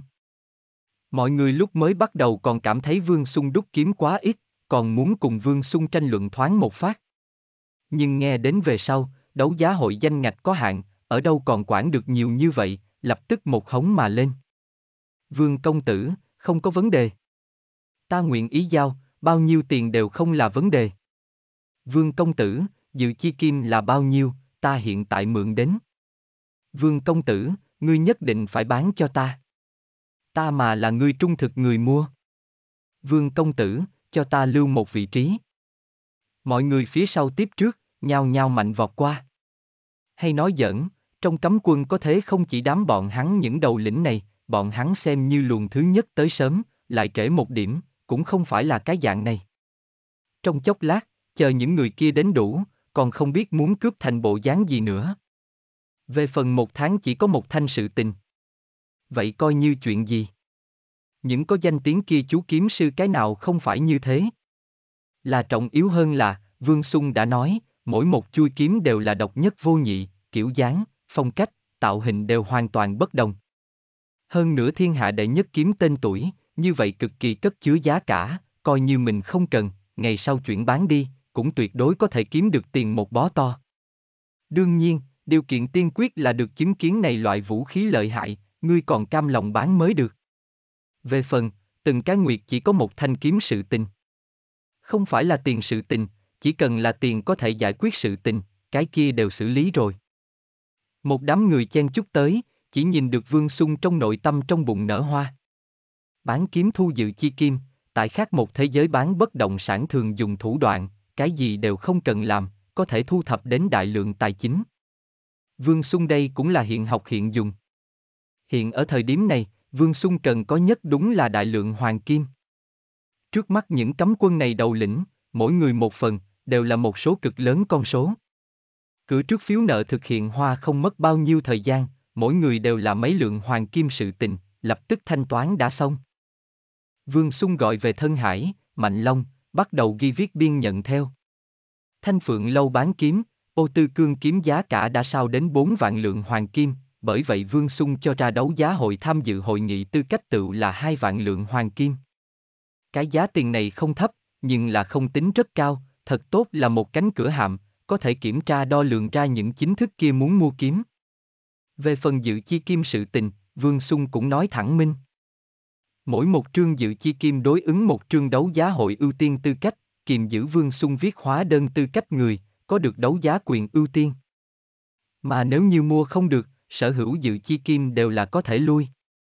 Đương nhiên, nếu như không muốn lui, dự chi tư cách cũng có thể bán trao tay cho những người khác. Vương xung cũng giống như vậy thừa nhận, hơn nữa làm như nhóm đầu tiên tham dự người, bất kể là ai, đạt được dự chi tư cách, đồng dạng có thể hưởng thụ Vương Xung 90% giảm giá ưu đãi. Như vậy xuống, dự chi tư cách tự biến thành hàng bán chạy, thì càng thêm không có người nguyện ý lui trước rồi. Vương Xung có được một cái thế giới tri thức trí nhớ, cái này một phương diện, cái thế giới này còn thực không ai có thể cùng hắn đánh đồng. Đã có thân hải, Mạnh Long trợ giúp, toàn bộ hơn 30 tên cấm quân tướng lãnh, tổng cộng hơn 30 mảnh giấy, toàn bộ từng cái viết ra. Mỗi người hai vạn lượng hoàng kim dự chi kim, cộng lại tựu là hơn 60 vạn lượng. Đây là một khoản tiền lớn. Vương Sung kiếm tiền năng lực, làm cho Mạnh Long, thân hải xem thế là đủ rồi. Không chỉ đám bọn hắn hai cái, chung quanh vương gia nghe hỏi chạy đến vương gia hộ vệ, nha hoàng, nô bộc, lão mũ tử, cũng xem ngốc mất. Thiếu gia nhà mình cũng thật bất khả tư nghị a, ghi mấy mảnh giấy, cái gì cũng không làm, có thể đã kiếm được hơn 60 vạn lượng hoàng kim, trong nơi này lợi hại. Đây quả thực là thủ đoạn thông thiên a. Cùng thiếu gia so với, coi như là kinh sư ở bên trong lợi hại nhất, biết nhất kiếm tiền hồng thương cự cổ đều trở nên không có ý nghĩa, không đáng giá nhắc tới. Ta không có nằm mơ a. Thiếu gia. Đây quả thật là nhà của chúng ta thiếu gia sao? Chúng ta vương gia về sau cũng biến thành cự phú chi gia rồi. Một đám tại vương gia phục thị vài chục năm lão mụ tử, lão bộc nhân, nha hoàng, hộ vệ, mở to con mắt, toàn thân phát run. Trong đó một gã tuổi tác đã cao lão mụ tử, càng là kích động nói nói xong, đột nhiên tự ngất đi qua. Thần A. Tại vương gia phục thì cả đời, lúc nào bái kiến nhiều tiền như vậy? Vương gia tiết kiệm cả đời, lúc này rốt cục phát đạt. Nháy mắt gian, lại là mấy cái lão mụ tử kích động ngất đi thôi. Liền ngất đi thời điểm, đều là mặt mũi tràn đầy hưng phấn, hạnh phúc. Tam thiếu gia. Thật lợi hại.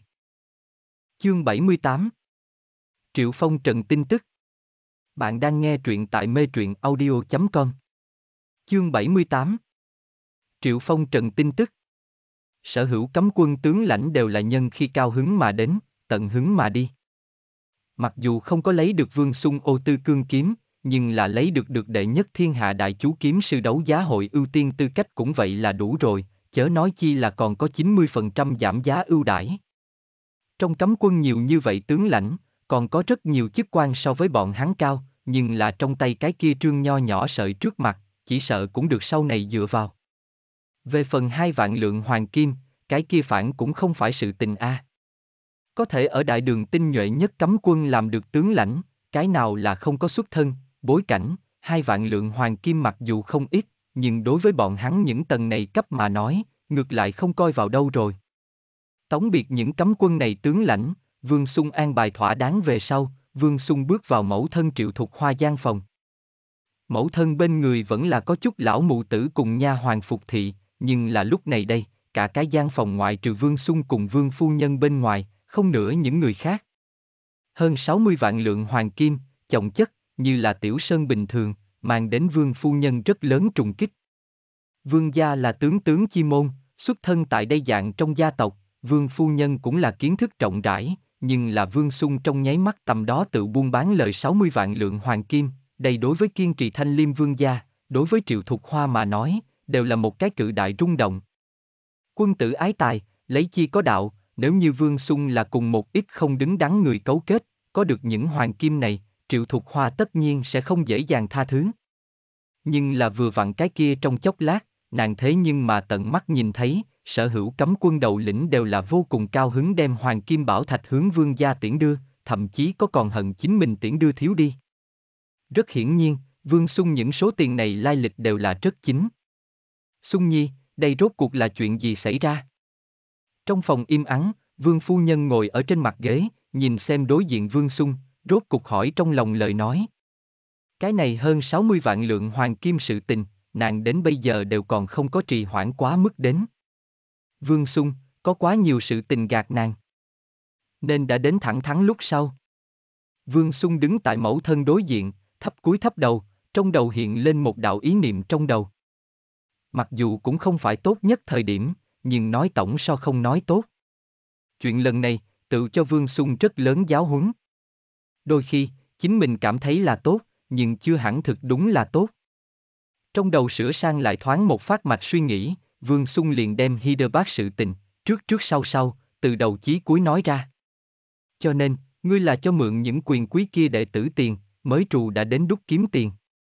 Vương Phu Nhân đạo. Vương Xung ừ một tiếng, nhẹ gật đầu. Vương Phu Nhân chầm chầm vào đối diện Vương Xung, đánh giá cẩn thận lấy hắn, trong lòng có loại cảm giác nói không ra lời. Có như vậy dây lát cái kia, Triệu Thục Hoa trong lòng có loại lạ lẫm cảm giác, nhưng là sau một khắc, lại có một loại làm mẫu thân vui mừng. xung Nhi, ngươi thật là trưởng thành. Vương phu nhân chầm chầm vào Vương xung đạo. Có người nào làm mẫu thân không phải mong con hơn người, hiện tại Vương xung tự làm được nàng một mực kỳ vọng bộ dạng. Tiền hàng vẫn luôn là vương thị nhất tộc nhược điểm. Toàn bộ vương thị gia tộc, từ trên xuống dưới, kể cả đại bá vương tuyên, đại cô vương như sương, còn có tiểu thúc, cùng với nhà mình ở bên trong, không có có bất cứ người nào có kinh thương thiên phú. Vương Xung Đại Bá Vương Tuyên đã xem như hội quản lý được rồi, tại mấy gia bên trong, kinh tế tình huống là tốt nhất, kinh doanh mấy cuộc sống gia đình ý. Nhưng là chỉ là như thế, cùng những chính thức kia đại phú đại quý chi gia so, căn bản kém cách xa vạn dặm. Vương gia nhân cũng không phải là giỏi về kinh thương đích nhân vật, kể cả Vương Xung đại ca, nhị ca ở bên trong, không ai có loại năng lực này, nhưng là hiện tại, Triệu Thục Hoa lại tại chính mình con nhỏ nhất chứng kiến một loại kinh người, xa xa siêu ra cái gì người kinh doanh thiên phú. Hơn 60 vạn lượng hoàng kim. Khoản này cử phú, đều đầy đủ toàn bộ vương thị gia tộc sở hữu thành viên cái gì đều không làm tiêu dùng hơn vài chục năm. Mẫu thân, thực xin lỗi. Chuyện này, ta không nên giấu giếm ngươi. Vương Xung cúi đầu nói. Vương phu nhân lắc đầu. Hai tử, thông qua chuyện lần này, mẫu thân cũng cảm giác được, ngươi làm việc thật sự biến trầm ổn rồi, về sau, có một số việc ngươi tự không cần nói cho ta biết, yên tâm người can đảm đi làm đi. Mẫu thân tin tưởng ngươi. Mẫu thân. Vương Xuân trong nội tâm trận trận cảm động, nhìn xem mẫu thân nói không ra lời. Theo mẫu thân trong phòng đi ra, Vương Xuân trong nội tâm cũng dễ dàng rất nhiều. Lần này mặc dù thiếu chút nữa bị Tô Bách lợi dụng, nhưng là cuối cùng xấu sau biến thành chuyện tốt. Thông qua chuyện lần này, mình cũng triệt để thắng được mẫu thân tín nhiệm, đã lấy được mẫu thân, buông tay đi làm, hứa hẹn. Trong sân tu luyện trong chốc lát võ công, rất nhanh Vương Xung đại dượng Lý Lâm liền vội vàng đuổi tới Vương gia. Những cấm quân kia tướng lãnh đã tới. Dượng Lý Lâm vào cửa câu đầu tiên tự nói ra. Ân. Vương Xung gật đầu. Những cái thứ này phản ứng thật nhanh. Ta nhanh đuổi chậm đuổi hay là không có đuổi qua bọn hắn? Lý Lâm lắc đầu cười nói. Người gặp việc vui tinh thần thoải mái, từ khi theo cửa bắt tiểu nha tướng trên vị trí điều đi, Lý Lâm cả người đều tinh thần tỏa sáng, lời nói cũng nhiều một ít. Dượng, trong hoàng cung có phải hay không đã xảy ra chuyện gì? Cùng Triệu Phong Trần có quan hệ? Vương Xung hỏi. Vương Xung nói bóng nói gió thời điểm, những cấm quân kia đều nói vô cùng giấu giếm. Tự là không nói chuyện gì xảy ra. Bất quá có nhiều thứ hay là không thể gạt được Vương xung. Đúng vậy. Triệu Phong Trần đã bại Hoàng Khiếu Thiên, thăng nhiệm cấm quân thống lĩnh rồi, đây là trong vài năm, một người duy nhất tân tấn thăng thống lĩnh. Tại Vương xung trước mặt, Lý Lâm cũng không có thừa nước đục thả câu, trực tiếp đi thẳng vào vấn đề nói ra chân tướng. Triệu thống lĩnh cùng Hoàng Khiếu Thiên thực lực kém không nhiều lắm, Hoàng Khiếu Thiên thậm chí còn ẩn ẩn cao hơn một điểm. Bất quá lúc này đây, chiếm được vũ khí tiện nghi. Triệu thống lĩnh một kiếm kia, không chỉ chặt đứt Hoàng Khiếu Thiên danh dương cung trong bảo kiếm tuyết ẩm, hơn nữa liền trên người hắn bách luyện kim cương giáp đều một lần hành động gọc đoạn, thiếu chút nữa đem thân thể của hắn đều một kiếm xé ra. Lúc ấy người quan sát không ít, thậm chí còn có một vị cấm quân đại thống lĩnh. Tất cả mọi người bị triệu thống lĩnh một kiếm kia dọa sợ. Đám kia gia hỏa khẳng định tự ở bên cạnh, lập tức chuồn đi, rõ ràng chạy tới ngươi ở đây đến rồi. Hoàng Khiếu Thiên cùng Triệu Phong Trần tấn chức, đây là trong cấm quân đại sự. Không chỉ là liên quan đến đến một người thống lĩnh vị trí, còn liên quan đến đã đến trong cấm quân phe phái đấu tranh. Điểm này, Vương Xung lại tin tưởng bất quá rồi. Dượng mặc dù nói cũng không phải rất kỹ càng, nhưng Vương Xung cũng có thể cảm giác được, trận chiến ấy nhất định là có chút hung hiểm. Triệu đại nhân thăng nhiệm thống lĩnh, đây là chuyện tốt. Vương Xung đạo, tiếp được, đem cái kia 60 vạn lượng hoàng kim sự tình, cũng từng cái nói ra. Triệu Phong Trần cùng Hoàng Khiếu Thiên ở giữa thống lĩnh tầm đó, đã bởi vì chính mình cải biến. Tương lai có rất nhiều đại sự cũng sẽ tùy theo cải biến. Vương Xung lòng dạ biết rõ, tấn chức thống lĩnh về sau, đạt được các loại cung trong tài nguyên tài bồi, Triệu Phong Trần lên chức chi lộ chi hội càng hội, cũng đoán chừng sẽ nhanh hơn leo lên đại thống lĩnh vị trí. Mà dưỡng hiến kiếm có công, về sau đi theo Triệu Phong Trần, tại trong cấm quân cũng tất nhiên là tiền đồ vô lượng. Đã có tầng này quan hệ, Vương Xung về sau tại trong cấm quân bán kiếm cũng sẽ tốt hơn rất nhiều. Hơn nữa, Dượng Lý Lâm nhất thực là vương gia ở bên trong yếu nhất một hoàng. Nếu như hắn có thể đi theo Triệu Phong Trần tại trong cấm quân thăng chức rất nhanh, toàn bộ vương gia thực lực cũng sẽ cùng theo nước lên thì thuyền lên, trở nên mạnh mẽ không ít. Sự tình hôm nay không phải là luồng thứ nhất. Đoán chừng về sau còn có thể có nhiều người hơn đi tìm đến. Cho nên, ta muốn đem chuyện này giao cho dượng đi ra. Có triệu đại nhân trong cung bảo kê, dượng xử lý khởi chuyện này có thể so với bên ta liền rất nhiều. Vương Xung Đạo Sở hữu ô tư cương kiếm tại trong cấm quân công việc, kể cả đấu giá ưu tiên tư cách, cùng với cử hành đấu giá công việc, Vương Xung đều chuẩn bị toàn quyền giao cho dượng Lý Lâm đến xử lý. Cái này không chỉ là thuận tiện, hoặc là nói hắn cấm quân thân phận rất tốt xử lý vấn đề.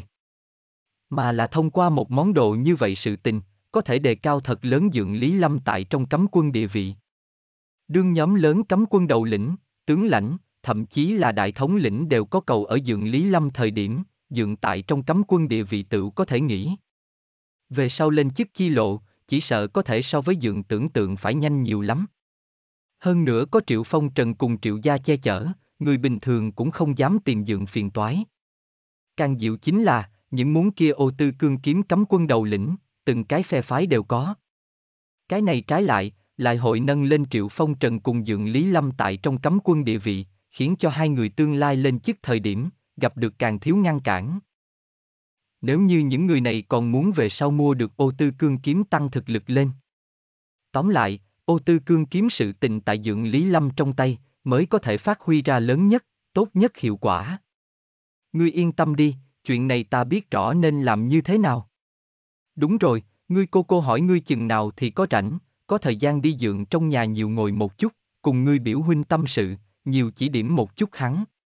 Thằng này lòng dạ cao ngạo, nhưng lại nói như rồng leo, làm như mèo mửa, ngươi cô cô cùng ta đều hy vọng ngươi giúp chúng ta giáo huấn một chút hắn. Lý Lâm Đạo Vương Xung cười cười, cô cô cùng dượng còn có con trai Vương Lượng. Mặc dù dượng họ Lý, nhưng lại cùng chính là đại cô họ. Ở thế gia trong đại tộc, Bởi vì mẫu gia cường thế, tăng thêm phụ thân một phương không có gì bối cảnh, loại tình huống này phi thường phổ biến. Đối với biểu huynh vương lượng, cô cô, Dượng một mực có tha thiết hy vọng, đáng tiếc, biểu huynh tự hồ khoảng cách hai người kỳ vọng là càng ngày càng xa. Tốt, có thời gian ta sẽ đi. Vương Xung đạo. Qua không lâu tựu là gia gia thọ thần sinh nhật, theo như quy củ, biểu huynh cũng giống như vậy muốn đi. Đến lúc đó gặp lại gặp cũng giống như vậy. Về phần gần đây, đã có hơn 60 vạn lượng hoàng kim, Vương Xung có thể làm một chuyện nhiều lắm. Chính thức có thể đại triển thân thủ rồi.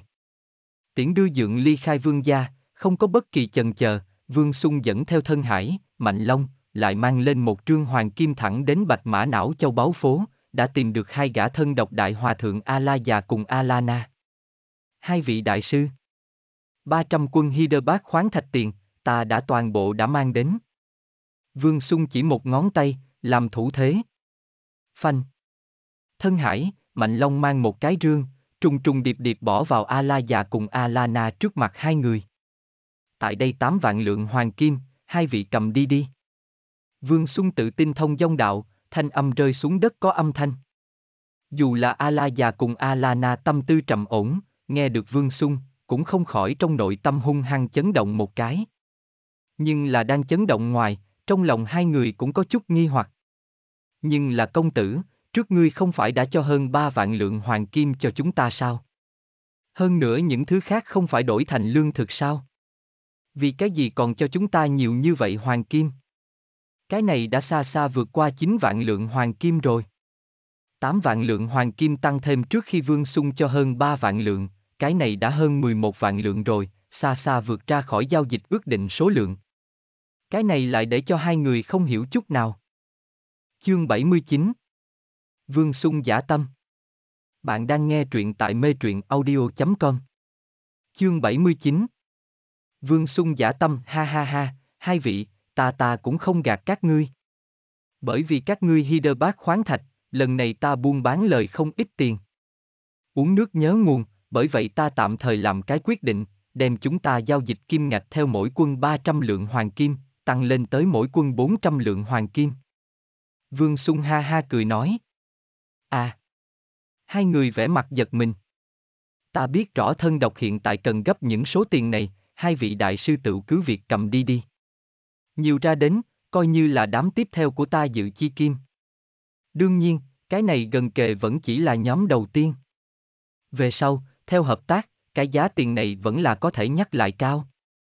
Vương Xuân Đạo Công tử Trong lòng hai người càng kinh ngạc. Nhưng có một loại càng sâu cảm động.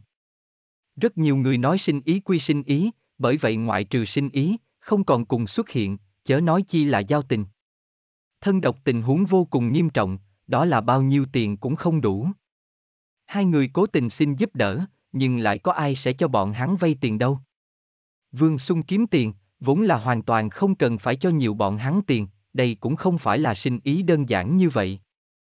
Công tử, cái này ân tình, chúng ta nhất định sẽ khắc cốt ghi khắc. Chúng ta đại thân độc cảm ơn ngươi, công tử yên tâm, ngày sau, chúng ta tất có giày báo. A la già, A la nà hai người cúi đầu xuống, thành âm thanh đạo. Vương Xung cười cười, không nói gì. Vương Xung cũng không phải người ngu, hai người không có mở miệng, hắn tự chủ động đem giao dịch kim ngạch theo mỗi quân 300 lượng hoàng kim tăng lên tới 400 lượng hoàng kim, giá cả đề cao một phần ba. Vương Xuân cũng không phải nhiều tiền không có địa phương hoa, mà là có càng sâu cấp độ suy nghĩ. Theo hơn 30 tên cung đình cấm quân tướng lãnh chỗ đó thu được 60 vạn hơn dự chi kim, Vương Xung cái thứ nhất nghĩ đến đúng là như thế nào bảo trì Hyderabad khoáng thạch cung ứng, hơn nữa đạt được càng nhiều nữa khoáng thạch. Một mình một thanh ô tư cương kiếm là phát huy không xuất ra cái tác dụng gì, 300 chui ô tư cương kiếm cũng hiệu quả có hạn, chỉ có thể ở quy mô nhỏ chiến dịch trong phát huy tác dụng, mà không thể phát huy ra chiến lược tính tác dụng. Muốn muốn đạt tới trong trí nhớ cái loại này khủng bố, tả hữu một hồi chiến tranh thế cục tác dụng, loại này ô tư cương kiếm trang bị phải đạt tới quân đoàn tập đoàn, ít nhất là tính bằng đơn vị hàng nghìn quân đoàn, mới có thể trên chiến trường phát huy ra đánh đâu thắng đó uy lực. Cũng mới có thể trợ giúp Vương Xung hoàn thành vẫn chưa xong nguyện vọng cùng sứ mạng. Cho nên từ vừa mới bắt đầu, Vương Xung giả tâm tựu không chỉ tại 300 quân Hyderabad khoáng thạch, mà là cả Hyderabad khoáng thạch sơn mạch. Nếu như khả năng, Vương Xung thậm chí muốn đem toàn bộ quặng mỏ đều mua lại. Mà cái kia 60 vạn lượng hoàng kim thúc đẩy Vương Xung giả tâm chuẩn bị nhất định được có thể thao tác tính. Thân độc khoảng cách trung thổ thần châu đường xá xa xôi, mà khoảng cách đại thực, điều chi muốn gần nhiều, đây là Vương Xung cạnh tranh Hyderabad khoáng thạch một người trong không thể không cân nhắc một cái sự thật. Làm quan hưởng lộc vua, ở chùa ăn lộc Phật, một cái gần, một cái xa, theo thân độc nhân vật cân nhắc, tuyệt sẽ không trước tiên nghĩ xa xôi trung thổ thần châu, mà xem nhẹ gần trong gan tất đại thực, điều chi. Vương Xung muốn muốn tranh qua đại thực, điều chi, cũng chỉ có thể là từ giá cả bên trên làm văn. A la già, A la na mặc dù không có nói rõ, bất quá Vương Xung mình cũng đoán được, 300 lượng hoàng kim một quân là thân độc giá quy định, bằng không cũng sẽ không, thiếu một phân đều không làm rồi. Đại thực, điều chi chỗ đó tất nhiên cũng là đồng dạng giá cả. Không lợi không dậy sớm, nếu như thân độc có thể theo chính mình ở bên trong đạt được càng nhiều nữa lợi ích, như vậy bọn hắn nhất định sẽ ưu trước tiên nghĩ đường xá xa xôi trung thổ thần châu, mà không phải điều chi, đại thực. Đồng thời, thân độc theo cạnh mình đạt được nhiều như vậy lợi ích, trái lại lại sẽ đối với đại thực, điều chi ông dùng rất cao kỳ vọng. Nhưng là giá cả thoáng cái đề cao nhiều như vậy, đại thực, điều chi khó có thể tiếp nhận, là tuyệt đối sẽ không làm như vậy. Song phương mâu thuẫn tăng lớn, chỉ biết sự chính mình được ít. Đây mới là vương xung thiệt tình giả tâm cùng mưu đồ. Mấy vạn lượng hoàng kim việc nhỏ, đạt được tối đa Hyderabad khoáng thạch cung ứng mới thật sự là chuyện lớn. Theo màu trắng mã não phố đi ra, Vương Xung trong nội tâm nhịn không được cười lớn một tiếng, sau đó khu xa đi quỷ hòe khu. Theo Tô Bách bị trảo nhập đại lý tự, nhốt vào nhà tù, vương gia trước cổng chính chuyện đã xảy ra lập tức như như gió, truyền khắp toàn bộ kinh thành quyền quý tầng vòng tròn tử. Cái gì? Tô Bách bị trảo. Thanh Phượng lâu bán kiếm chính là cái người kia tự là Vương Xung. Tin tức rơi vào tay Diêu gia, Diêu Phong một tay chống cái bàn, cho đã mắt khiếp sợ. Hắn một mực đang đợi Tô Bách tin tức, không nghĩ tới truyền tới nhưng lại cái này. Vâng, công tử. Tô Quốc công bên kia nhận được tin tức, đã sớm hạ triều, tiến đến nghĩ cách cứu viện Tô công tử. Về phần, Vương Xung bên kia. Chúng ta tận mắt nhìn thấy. Rất nhiều cấm quân tướng lãnh mang theo đầy xe hoàng kim, châu báu đi vương gia cầu kiến, cả đám đều xưng vương song đệ nhất thiên hạ đại chú kiếm sư. Cao Phi quỳ trên mặt đất đạo. Sự tình phát sinh thời điểm, Cao Phi cũng hỗn trong đám người, chỉ bất quá hắn rất cẩn thận, biết rõ Vương Xung nhận biết mình, cho nên một mực đều rất cẩn thận, không làm cho Vương Xung chú ý. Tô Bách bị trảo, Vương Xuân tự là Thanh Phượng Lâu bên trên, Thanh Phượng Lâu, bên trên đệ nhất thiên hạ đại chú kiếm sư, cái này tin tức mặc dù là bây giờ nói đến, hắn cũng cảm thấy cực kỳ rung động, khó có thể tin. Một thanh đao kiếm bốn vạn lượng, rốt cuộc là cái gì đao kiếm đáng giá nhiều như vậy? Hắn một cái miệng còn hôi sữa tiểu tử, làm sao có thể có loại này bổn sự? Diêu Phong nghiến răng nghiến lợi nói. Ngay tại không lâu trước khi, Vương Xung trong mắt hắn vẫn chỉ là một cái kinh sư ở bên trong ăn chơi thiếu gia, là hắn đã kích báo phụ vương gia đối tượng, thậm chí hắn chỉ dùng một cái không nhập lưu mã chu, đem hắn đùa bẩn tại bàn tay tầm đó. Nhưng là trong một sát na, Vương Xung rõ ràng tự biến thành cái gì để nhất thiên hạ đại chú kiếm sư. Xoay ngược lại đến quá mức kinh người, đến nỗi tại Diêu Phong hoàn toàn không thể tin được, càng thêm không tiếp thụ được. Chúng ta cũng không biết. Nhưng là cấm quân không có khả năng lầm. Hơn nữa Tô Công Tử trước khi cũng hỏi qua, bọn họ là không phải nghĩ sai rồi. Nhưng kết quả, chỉ là đổi lấy những cấm quân kia cười nhạo. Cao Phi quỳ trên mặt đất đạo. Vương Xung che giấu thân phận mang đến rung động, xa không chỉ là căn phòng này, cái này mấy người. Trên thực tế, sở hữu ở đây ăn chơi thiếu gia đều nhận lấy cực lớn trùng kích. Ngay tại hắn đến thời điểm, bác thần các bên trên còn tụ tập đại lượng ăn chơi thiếu gia, đang tại thảo luận chuyện này. Thông qua chuyện này, Vương Xung theo chúng quyền quý đệ tử bên trong địa vị đã nước lên thì thuyền lên, đạt tới một người bình thường khó có thể với tới địa vị. Vương gia là tướng tướng dòng dõi, so với không chút nào kém cỏi hơn Diêu gia. Diêu gia Diêu lão gia tử môn sinh bạn của lược thiên hạ, vương gia cửu công đồng dạng là đào lý lược thần châu. Diêu gia có tề vương làm chỗ dựa, vương gia thì có tống vương làm chỗ dựa. Chỉ là, vương gia không sự tình kinh doanh, cái này vẫn là vương gia nhược điểm. Nhưng là nếu như vương gia đền bù cái nhược điểm này, đồng dạng đạt tới đại phú đại quý, như vậy vương gia so về diêu gia tự một chút cũng không kém rồi. Hiện ở trong đáy lòng, mọi người đàm luận khởi vương sung, đều nói một chút cũng không kém hơn diêu phong, là kinh thành đỉnh cấp quý công tử một trong, lời nói tầm đó đều có rất nhiều sợ hãi. Bất quá những này, Cao Phi là không dám nhận mặt cùng Diêu Phong nói. Trong phòng im ắng. Diêu Phong đứng trong phòng không nói gì, trên mặt của hắn âm tình bất định. Vì một cái tô bách, lãng phí một cách vô ích ta nhiều thời giờ như vậy. Thoạt nhìn, nên chấp hành kế hoạch kia rồi. Diêu Phong trong đầu liên tiếp. Ngươi đi xuống đi. Nói cho Tô Quốc Công, Tô Bách chỗ đó, ta sẽ nghĩ biện pháp lại để cho phụ thân phối hợp, cứu hắn đi ra. Diêu Phong mở miệng nói. Đa tạ công tử. Cao Phi đại hỉ, cáo từ mà đi. Nhìn xem Cao Phi bóng lưng, Diêu Phong chỉ là cười lạnh một tiếng. Cao Phi mặc dù không có nói rõ, nhưng hắn ở đâu đoán không được là Tô Quốc công phái hắn tới. Vu Quang, vu cáo triều đình trọng thần, Vương Xung, xem như ngươi lợi hại. Diêu Phong cười lạnh một tiếng. Vương Xung cùng Tô Bách hai người, một cái 15 tuổi, một cái 17 tuổi, đều là hai tiểu hài tử. Loại chuyện này vốn là náo không đến đại lý tự đi. Bất quá Tô Bách vô dụng, bị Vương Sung bắt lấy chân đau.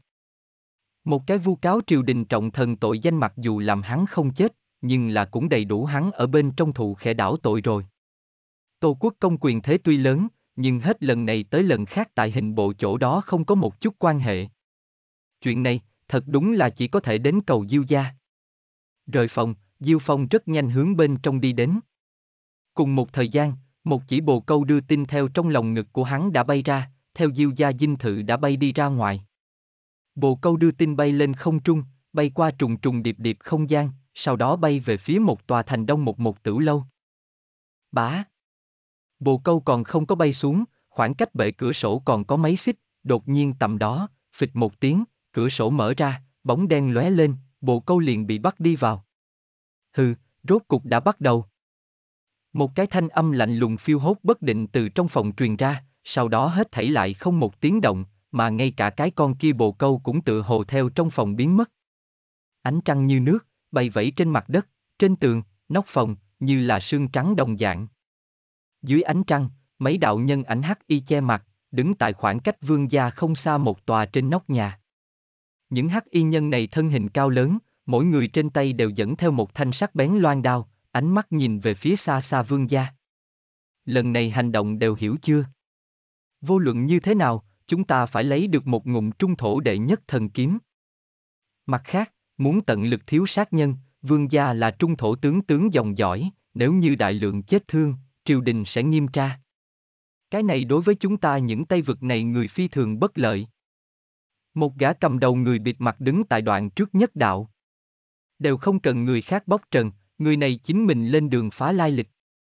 Trên thực tế, bọn hắn có khác với trung thổ người dáng người, mặc dù giấu ở y phục dạ hành hạ cũng không có dùng, đồng dạng có thể phân biệt ra được đến. Vâng, thủ lĩnh. Một đám người cúi đầu xuống, nửa câu lời nói thêm càng thừa thải đều chưa nói, xem xét tự là trải qua nghiêm khắc huấn luyện, tuyệt đối phục tòng mệnh lệnh. Rất tốt. Đây là khói mê, mỗi người mang năm cái. Nếu như chứng kiến vương gia nhân, hướng trên mặt đất quăng ra, rất nhanh có thể té xỉu. Nhớ kỹ, vương gia hộ vệ rất nhiều, hơn nữa tướng tướng dòng dõi, bên ngoài thường xuyên có tuần tra ban đêm cấm quân trải qua, bởi vậy mục tiêu của chúng ta không phải cùng bọn họ chiến đấu, cũng không phải giết sạch người của vương gia, mà là nhanh chóng lấy được bảo kiếm, giao cho đại nhân. Hết thảy dùng cái này là điều kiện tiên quyết, không được quá nhiều ham chiến, hiểu chưa? Cầm đầu hắc y nhân đạo. Vâng, thủ lĩnh. Một đám hắc y nhân lần nữa đạo. Tốt. Hành động A. Thanh âm vừa rụng, một đám hắc y nhân cánh tay mở ra, như đại ưng rơi xuống, động tác mau lẹ, võ nghệ cao cường, hướng về xa xa vương gia mà đi, động tác nhanh nhẹn vô cùng. Chương 80 Điều chi ngượng nghịu khách Bạn đang nghe truyện tại mê truyện audio.com Chương 80 Điều chi ngượng nghịu khách Xoạt. Trong phòng, Vương Sung mở ra một trương ba thước vuông giấy tuyên thành, chấm trám mực nước, bắt đầu suy nghĩ tiếp được thứ hai chui đấu giá ô tư cương kiếm có lẽ chế tạo thành cái dạng gì kiểu dáng. Cấm quân cũng không phải người ngu, có thể làm được cái này địa vị đều là từng có người năng lực. Mặc dù bọn hắn đưa tiền tiễn đưa vô cùng sảng khoái, nhưng là càng sảng khoái, đối với đao kiếm yêu cầu càng cao. Vương Xung đúc đao kiếm, nhất định phải có thể chinh phục bọn hắn mới được. Khá tốt cái thế giới này đao kiếm hình dạng và cấu tạo vẫn tương đối chỉ một, ta có thể đủ lựa chọn thứ đồ vật hay là rất nhiều. Vương Xung trong nội tâm nói thầm. Thời đại này như mấy đại đúc kiếm thế gia như vậy đao kiếm thương nhân rất nhiều rất nhiều, bởi vì chỉ coi trọng đao kiếm sắc bén độ, mà hoàn toàn bỏ qua đao kiếm ngoại hình nguyên nhân, cho nên đại bộ phận đao kiếm chế thức cơ hồ là giống như đúc. Tương so với, Vương Xung ở phương diện này quả thực là tuyệt đại tông sư cấp bậc. Hảo tử cũng sợ ngõ nhỏ, đóng gói không chỉ là tại đao kiếm, tại cái gì phương diện đều là rất trọng yếu. Một chỉ đào rót cùng một cái chén sứ, khẳng định rất nhiều càng chú ý chính là sứ men xanh. Một thanh tại hình dạng và cấu tạo bên trên càng thêm mỹ quan đao kiếm, cùng bình thường đao kiếm cũng là tuyệt nhưng bất đồng. Lần trước đã thử qua kiếm rồi, lần thứ hai đấu giá có lẽ có lẽ tại trên đao nếm thử một chút. Vương Xung trong nội tâm âm thầm suy nghĩ đạo. Đao kiếm vĩnh viễn là sở hữu binh khí bên trong hai đại vương giả, mặc dù trung thổ sử dụng kiếm xa so dùng đao nhiều, nhưng đao địa vị tuyệt không thấp. Bởi vì đao sử dụng càng khó, không phải đỉnh tim cao thủ, là rất khó dùng hảo đao. Mà ở trong cấm quân, Vương Xung đã biết rõ nhiều cái dùng đao đỉnh tim tướng lãnh. Vương Xung muốn muốn đặt chính mình đệ nhất thiên hạ đại chú kiếm sư địa vị, không thể chỉ chế tạo kiếm, còn phải tại trên đao đặt chí cao vô thượng địa vị mới được.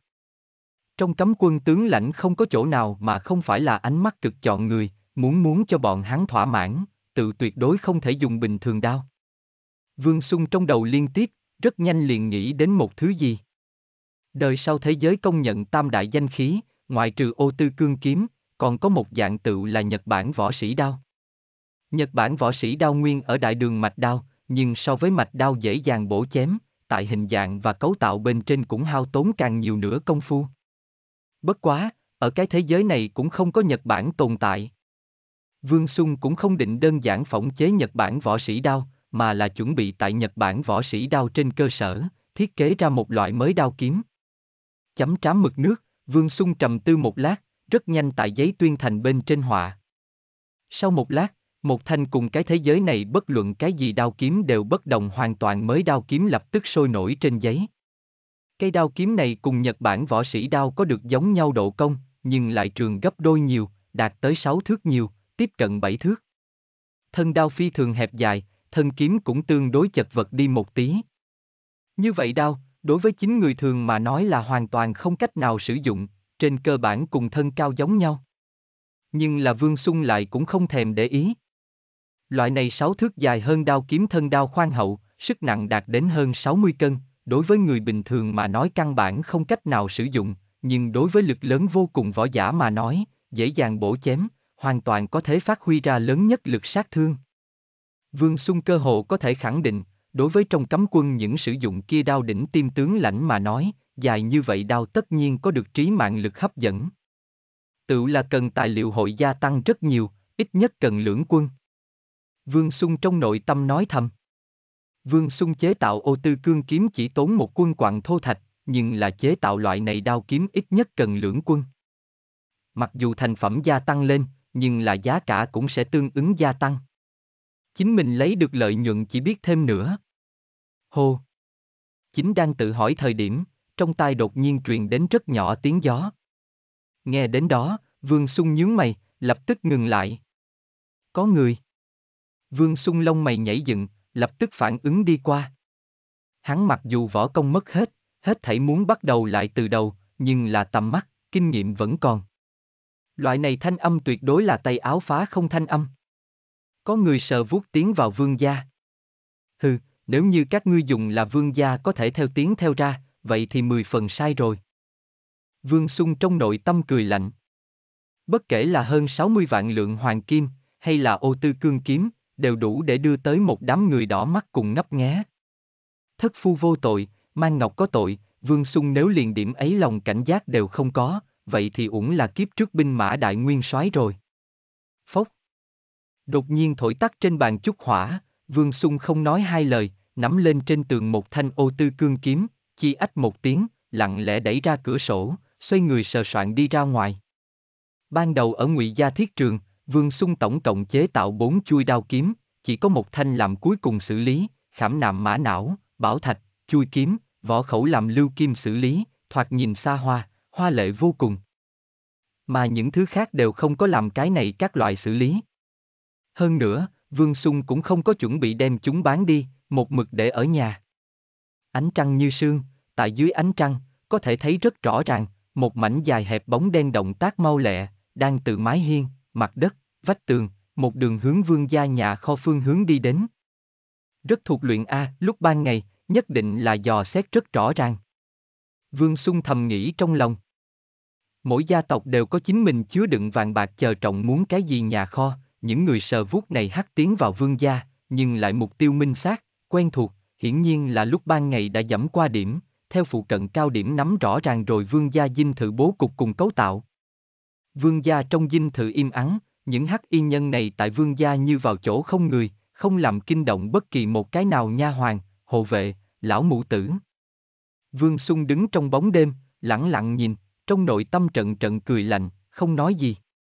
Tướng tướng dòng dõi tại nuôi dưỡng hộ vệ, tư binh phương diện có nghiêm khắc hạn chế, nhưng là muốn đối phó những người này, tuyệt đối là dư xài. Không sai biệt lắm. Ngay tại những sắp kia đến vương gia kho cửa phòng thời điểm, vương Xung ánh mắt lóe lên, trong đầu hiện lên một đạo ý niệm trong đầu. Rống. Nói thì chậm, khi đó thì nhanh, ở này những người này nhanh muốn đi vào vương gia nhà kho thời điểm, đột nhiên tầm đó, một tiếng kinh thiên động địa gào thét phá vỡ yên lặng, như là kinh lôi vang vọng tại toàn bộ vương gia phủ đệ trên không. Người nào? Theo bạo tiếng hô, không khí chấn động, một cổ bàn bạc màu đen tiếng nổ mạnh khí lãng theo vương gia phủ kho bên trong bắn ra mà ra. Một đám hắc y nhân quá sợ hãi, phản phất diều bị đứt dây đã bay đi ra ngoài. Vương công tử phủ đệ, ai dám xông loạn. Theo một tiếng sư tử giống như gào thét, hai đạo gầy, nhưng lại cường đại thân ảnh tay áo bồng bềnh, theo vương gia trong phủ đệ lao tới. Cái này phiên thoại, không phải dùng trung thổ ngôn ngữ nói, mà là phạn ngữ nói, đáng tiếc, không có người nghe hiểu được. Rốt cục đi ra. Chứng kiến A-la già cùng A-la-na từ bên trong lao tới, vương sung rốt cục nở nụ cười. Cái này kêu là tặng quả đào, báo quả mận. Ngày hôm qua 8 vạn lượng hoàng kim cũng không phải là bạch hoa. Vương Xung chỉ là đem hy vọng hai người hỗ trợ thủ hộ vương gia, phòng ngừa có người ngấp nghé Hyderabad khoáng thạch cùng cái kia mấy mươi vạn lượng hoàng kim vừa nói, hai người không nói hai lời đáp ứng. Vương Xung hiện tại thế nhưng mà thân độc khách hàng lớn, có người muốn trộm lấy hắn mua Hyderabad khoáng thạch tiền, cái kia còn phải rồi. Chuyện này đều không cần Vương Xung nói tỉ mỉ, hai người tự tiếp nhận xuống dưới. Oanh! Từ xa nhìn lại, chỉ thấy A-la già, A-la-na hai người tự như hùng sư bình thường, xông vào hắc y nhân bậy, đánh đầu thắng đó. Tận lộ vẻ hai người bọn họ, tự chặn hơn 10 cái hắc y nhân công kích, phiên cổn màu đen khí lãng, càng là đem những hắc y nhân này nguyên một đám như trang giấy đồng dạng đánh bay ra ngoài, rơi trên mặt đất, ngã tại trên tường. Đi ra. Địch tập kích. Cùng một thời gian, hai gã thân độc đại hòa thượng thanh âm cũng đánh thức vương gia hộ vệ. Theo mẫu thân chỗ ở, tiếp khách đại sảnh, nhà hoàng, lão mụ tử, bọn nô bộc ở trong sương phòng, rất nhiều vương gia hộ vệ từ bên trong lao tới. Mọi thứ giữ tắt thì lập, không giữ tắt thì phế, tất nhiên ngờ tới hơn 60 vạn lượng hoàng kim cùng Hyderbach khoáng thạch khả năng khiến cho ngấp nghé, Vương Xung lại làm sao có thể không trước đó làm xuống chuẩn bị. Mẫu thân chỗ ở, nhà hoàng nhóm chỗ ở, sở hữu trọng yếu địa phương, Vương Xung đô sự trước an bài hộ vệ. Nếu như không phải như vậy, Vương Xung cũng không có khả năng như vậy yên tâm lớn mật, thấy có người vào được, đều không đề cập tới tỉnh. Dết. Một đoàn vương gia hộ vệ theo hành lang xuống, trong phòng phong chọc mà ra, đào trong tay kiếm, dưới ánh trăng hàng quang lập lòe. Chỉ trong chốc lát, lưỡng nhổ đội ngũ ngay tại trong vườn kịch liệt giết chóc lại với nhau. Vương gia hộ vệ tại tướng tướng dòng dõi trong không coi là nhiều, thậm chí xem như rất ít được rồi. Nhưng là cùng những hắc y nhân này so với, vậy thì muốn phải nhiều hơn nhiều lắm. Chỉ nghe len ken kim thiết không ngừng bên tai, chỉ trong chốc lát, vương gia trong sân khắp nơi đều là lập lòe hàng quang. Ân. Rõ ràng có người thẳng đến nơi này rồi. Đột nhiên, Vương Xung lỗ tai giật giật, đã nghe được một hồi tay áo tiếng xé gió. Thoạt nhìn, không chỉ là vương gia nhà kho, tự như thư phòng của mình, cũng thành những người này điều tra liệt kê. Hưu. Nói thì chậm, khi đó thì nhanh, ngay tại Vương Xung phát giác được có người tới đồng thời, trong bóng tối hàng quang lóe lên, mấy chui điều chi loan đao lóe ra trong trẻo nhưng lạnh lùng hồ quang, tại trong hư không kịch liệt xoay tròn lấy, cấp tốc hướng về Vương Xung bay tới. Thiếu gia, coi chừng. Trong bóng tối, thủ hộ tại Vương Xung thư phòng chung quanh thân hải, Mạnh Long thấy như vậy một mạng, quá sợ hãi, kêu to, đột nhiên từ trong bóng tối liền xông ra ngoài. Ông! Không khí rung rung, trong khoảng điện quan hỏa thạch, Mạnh Long đột nhiên đem trên người bội kiếm ném, khanh một tiếng, ở giữa không trung một kiếm đánh trúng vào một thanh điều chi loan đao, nhưng hắn mấy chui lại như cũ dùng lôi đình vạn quân chi nhanh chóng hướng về Vương Xung vọt tới. Không tốt. Chứng kiến mấy chui điều chi loan đao, thoáng cái tự chạy vội tới Vương Xung mặt, sắc bén lưỡi đao tự hồ muốn đem Vương Xung đầu hết thảy vi hai, hai người thoáng cái sắc mặt tái nhợt, mồ hôi lạnh đều đi ra. Ông Mặc dù võ công không cao, nhưng là Vương Xung phản ứng lại không chậm. Ngay tại mấy chui điều chi loan đao điện xạ tới sát na, Vương Xung thân thể hướng lên, sau này một phen, một chiêu vô cùng đơn giản con rùa đen phơi nắng bối, liền tại suýt xảy ra tai nạn chi tế, hiện lên cái này mắc xích một kích. Mà động tác chi thông dông chiêu thức chi đơn giản, mà ngay cả xa xa hai gã điều chi người bịt mặt đều xem ngay người. Vương Xung võ công trong mắt bọn hắn, căn bản chính là không nhập lưu. Ai cũng thật không ngờ, Vương Xung rõ ràng có thể dùng đơn giản như vậy chiêu thức, thông dong, tiêu sái hiện lên bọn hắn tất sát một kích. Chương 81 Đêm khuya ngượng nghịu dết Bạn đang nghe truyện tại mê truyện audio.com Chương 81 Đêm khuya ngượng nghịu dết Vèo Một thanh chui điều chi loan đao tại trong hư không kịch liệt xoay tròn, trong đêm tối kéo lên một cái cự đại hình cung về sau, lại bay đến vài tên hắc y người bịt mặt trong tay. Vài tên hắc y người bịt mặt lúc này mới kịp phản ứng. Tiêu diệt hắn. Mấy người nói là một loại vương sung cũng nghe không hiểu ngôn ngữ, trong tay cầm lấy loan đao, gấp bổ nhào qua. Bảo hộ thiếu gia. Thân hải, Mạnh Long lúc này không nói hai lời, vội vàng tiến lên, một trái một phải, hộ tại vương sung bên người. Mạnh Long. Đón lấy. Vương sung dưới chân nhảy lên, đem Mạnh Long ném, rơi trên mặt đất kiếm chọn tới. Mạnh Long tiếp trong tay, rất nhanh cùng một đám điều chi hắc y người bịt mặt chiến đấu cùng một chỗ. Chiến đấu phi thường kịch liệt, Vương Xung cũng không có lẫn vào đi vào. Thực lực của hắn không đủ, căn bản không phải những hắc y này người bịt mặt đối thủ. Hơn nữa thân hải, Mạnh Long đều là trong quân lui ra đến hãng tướng, mặc dù bởi vì chiến đấu nguyên nhân, thụ qua thương, thực lực có chút đường lui, nhưng là kinh nghiệm, phối hợp, đều là nhất thời vô lượng. Hơn nữa vương gia bên trong hộ vệ tụ càng càng nhiều, đã có người đi bên này chạy tới rồi. Không thể tưởng được điều chi bảo đao rõ ràng còn có loại này công dụng. Vương Xung liếc qua những hắc y kia người bịt mặt trong tay điều chi loan đao, những điều chi này loan đao rõ ràng như vòng qua vòng lại tiêu đồng dạng, có thể thoát chưởng mà ra, qua lại xoay tròn, đường ám khí sử dụng. Vương Xung cũng là lần đầu tiên nhìn thấy loại này sử dụng thủ pháp. Nhìn ra được, loại này sử dụng thủ pháp yêu cầu rất cao, bằng không mà nói, giết không chết đối thủ, chính mình đã bị vòng qua vòng lại loan đao chém giết. Vậy cũng là hiệu ứng hồ điệp A. Vương Xung thầm nghĩ trong lòng. Đời trước, Vương Xung căn bản là không cùng Hyderbác khoáng thạch đã từng quen biết, lần này bởi vì chính mình đoạn hồ, dòm phá tương lai xu thế, sớm mua Hyderabad khoáng thạch, hơn nữa đúc ra ô tư cương kiếm mới có thể đưa tới những điều chi này là khách. Mạnh Long, tiêu thạch vọng nguyệt. Thân hải, bạch viên quay đầu. Vương Xung đột nhiên mở miệng nói. Ma xui quỷ khiến, Mạnh Long trường kiếm trong tay vừa nhất, chém xéo thẳng ngượng nghịu nhập một gã vừa mới nhảy lên hắc yên người bịt mặt ngực, mà thân hải đầu lâu khẽ lệch, trong khoảng điện quan hỏa thạch tránh thoát một thanh lượng vòng tới điều chi loan đao. Chứng kiến kết quả này, Mạnh Long khá tốt, thân hải là trực tiếp ra một tiếng mồ hôi lạnh. Cái này nếu không phải Vương Xung kịp thời nhắc nhở, hắn chỉ sợ đã bị điều chi loan đao đánh trúng cái cổ. Tiểu tử kia dở trò, giết hắn đi. Vài tên hắc y người bịt mặt ánh mắt lạnh lẽo, lập tức đã nhận ra Vương Xung tồn tại. Nếu không là hắn nhắc nhở, vừa mới cái kia hai gã hộ vệ đã chết mất một cái rồi. Hừ. Vương Xung cười lạnh một tiếng, hắn mặc dù nghe không hiểu điều chi lời nói. Nhưng nhìn đã có một gã hắc y người bịt mặt ý đồ thoát khỏi thân hải, Mạnh Long để đối phó chính mình, cũng biết tính toán của bọn hắn rồi.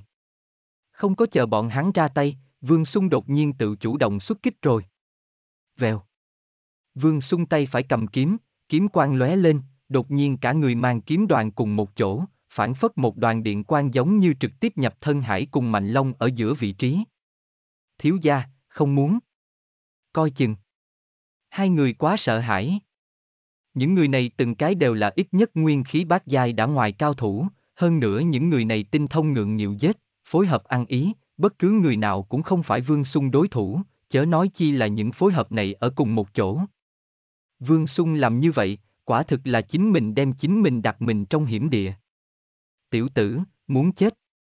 Thân Hải cùng Mạnh Long chính giữa vị trí, một gã hắc y người bịt mặt cũng chú ý tới hướng chính mình đoạn thân nhào đầu về phía trước Vương Xung, mãnh liệt giữ tận cười một tiếng, trong tay điều chi loan đao nhộn nhạo lên từng mảnh ánh đao, dùng lôi đình vạn quân chi nhanh chóng hướng về Vương Xung trảm rơi xuống. Một đao kia lực lượng thật lớn, liền không khí đều mãnh liệt bạo tạc, nhấc lên trận trận gió lớn. Ông! Vương Xung chân phải duỗi ra, cắm vào mặt đất, do cực động mà cực tỉnh, tại trong khoảng điện quan hỏa thạch đã hiện lên một đao kia. Nhưng chỉ là trong nháy mắt, Vương Xung liền đột nhiên bạo lên, một kiếm chém ra, tại hắc yên người bịt mặt ánh mắt kinh ngạc ở bên trong, đưa hắn một kiếm chém thành hai đoạn. Là chui này kiếm. Mọi người coi chừng. Thấy như vậy một màn, chung quanh hắc yên người bịt mặt lấy làm kinh ngạc, lập tức nhận ra Vương Xung trong tay ô tư cương kiếm. Điều chi, đại thực đối với đao kiếm công nghệ cực kỳ coi trọng, ở phía trên cũng bỏ ra rất nhiều tâm huyết, đi ra không có chỗ nào mà không phải là tinh phẩm. Mấy trong tay người điều chi loan đao mặc dù không bằng mạc trại đức, nhưng cũng là tốt đẹp danh đao rồi, có thể đem chúng nhẹ như không có gì một kiếm chặt đứt, cũng chỉ có thanh phượng lâu bên trên cái kia chui kiếm rồi. Vài tên hắc y người bịt mặt lập tức một mảnh bối rối. Bọn hắn vốn không sao cả đem vương sung để vào mắt, nhưng là biết rõ chui này kiếm về sau, lập tức ném chuột sợ vỡ bình, đã có rất lớn kiên kỵ. Dết. Vương Xung phản ứng cực kỳ nhạy cảm, lập tức cảm thấy đối thủ bối rối, đây là tiến công thời cơ tốt nhất. Thân Hải, Mạnh Long lúc này đã đối với Vương Xung sinh ra thật lớn tin phục, hai người liên thủ, không nói hai lời, cùng một chỗ hướng chúng hắc y người bịt mặt cùng một chỗ công tới. Chúng hắc y người bịt mặt lập tức càng thêm hoảng loạn rồi, chỉ nháy mắt đã bị thân hải, Mạnh Long trảm bị thương hai cái. Bất quá ngay tại hai người chuẩn bị trắng trợn chém giết thời điểm, dị biến nổi lên, bang bang, trong khoảng điện quan hỏa thạch đột nhiên từ đối diện hắc y người bịt mặt trong ném ra mấy cái hắc cầu. Những hắc này cầu rơi xuống đất tự tạc, tràn ngập ra mảng lớn khói đặc. Không tốt. Coi chừng khói mê. Vương sung kinh hãi khói đen trông thấy không rõ, không có nghĩ tới những thứ này đều chi hắc y người bịt mặt rõ ràng còn dẫn theo loại này ám khí. Tự đang nói chuyện sát na, khói đen tràn ngập đại khu vực, cái gì cũng thấy không rõ rồi. Vương sung tâm thần đại biến, không kịp nghĩ nhiều, vội vàng dùng tay áo che tỳ khẩu, lỗ mũi, dưới chân đạp một cái, như thiểm điện lui về sau đi. Cơ hội tốt. Giết hắn đi, cướp được chui này bảo kiếm. Chỉ cần hoàn thành nhiệm vụ, những người khác không cần phải xen vào rồi. Khói đen bên trong, vài tên hắc y người bịt mặt đại hỷ, rõ ràng trực tiếp xuyên qua tràn ngập khói đặc, tự hồ không chút nào thụ khói đặc ảnh hưởng. Không tốt. Vương Xung trong nội tâm hoảng hốt, hắn hiện tại cánh chim không trường, phối hợp thân hải, mạnh long dòm mấy cái sơ hở, lấy lấy rò mở rộng lỗ hổng coi như cũng được, nhưng là một người đối mặt ba cái lực lớn vô cùng, ít nhất nguyên khí bát giai cao thủ, căn bản liền không cần nghĩ. Phanh.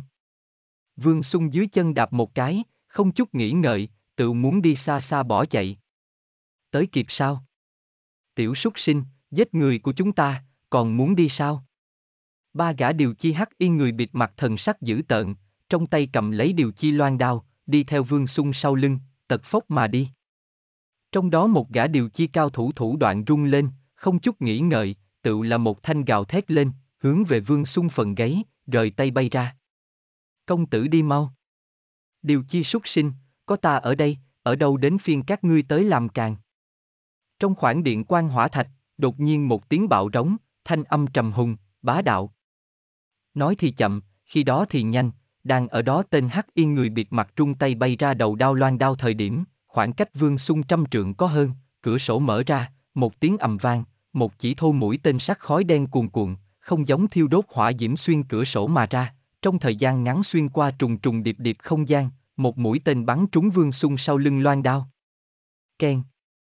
Loan đao bị thô mũi tên sắt đánh trúng, ken một tiếng, bị chấn thành phấn vụn. Ba gã hắc y người bịt mặt đầy mặt kinh hãi, nhưng mà không đợi đến bọn hắn kịp phản ứng, phanh. Lại là một chỉ thô mũi tên sắt xẹt qua trùng trùng điệp điệp hư không, lập tức đánh trúng một gã hắc y người bịt mặt. Thô mũi tên sắt theo bên cạnh ngượng nghịu nhập, trực tiếp xuyên tim mà ra, tiễn thuật tinh chuẩn dọa người. Tên kia hắc y người bịt mặt thân thể dâng lên, cọc gỗ giống như ngã xuống, lời nói đều chưa nói, tự yết khí liễu. Không tốt. Là tiễn đạo cao thủ. Còn lại hai gã hắc yên người bịt mặt sắc mặt đại biến, tự hồ gặp cái gì rất đáng sợ sự tình đồng dạng. Không kịp nhiều lời, hai người đột nhiên uốn éo qua thân đến, một trái một phải, phân thành hai cái phương hướng, một cái sờ soạn dọc theo chân tường bay tán loạn, cái khác trực tiếp trèo lên nóc nhà. Phanh. Phanh. Trăm trượng có hơn cái gian phòng kia gian phòng, tự như một cái đáng sợ nhất lỗ đen.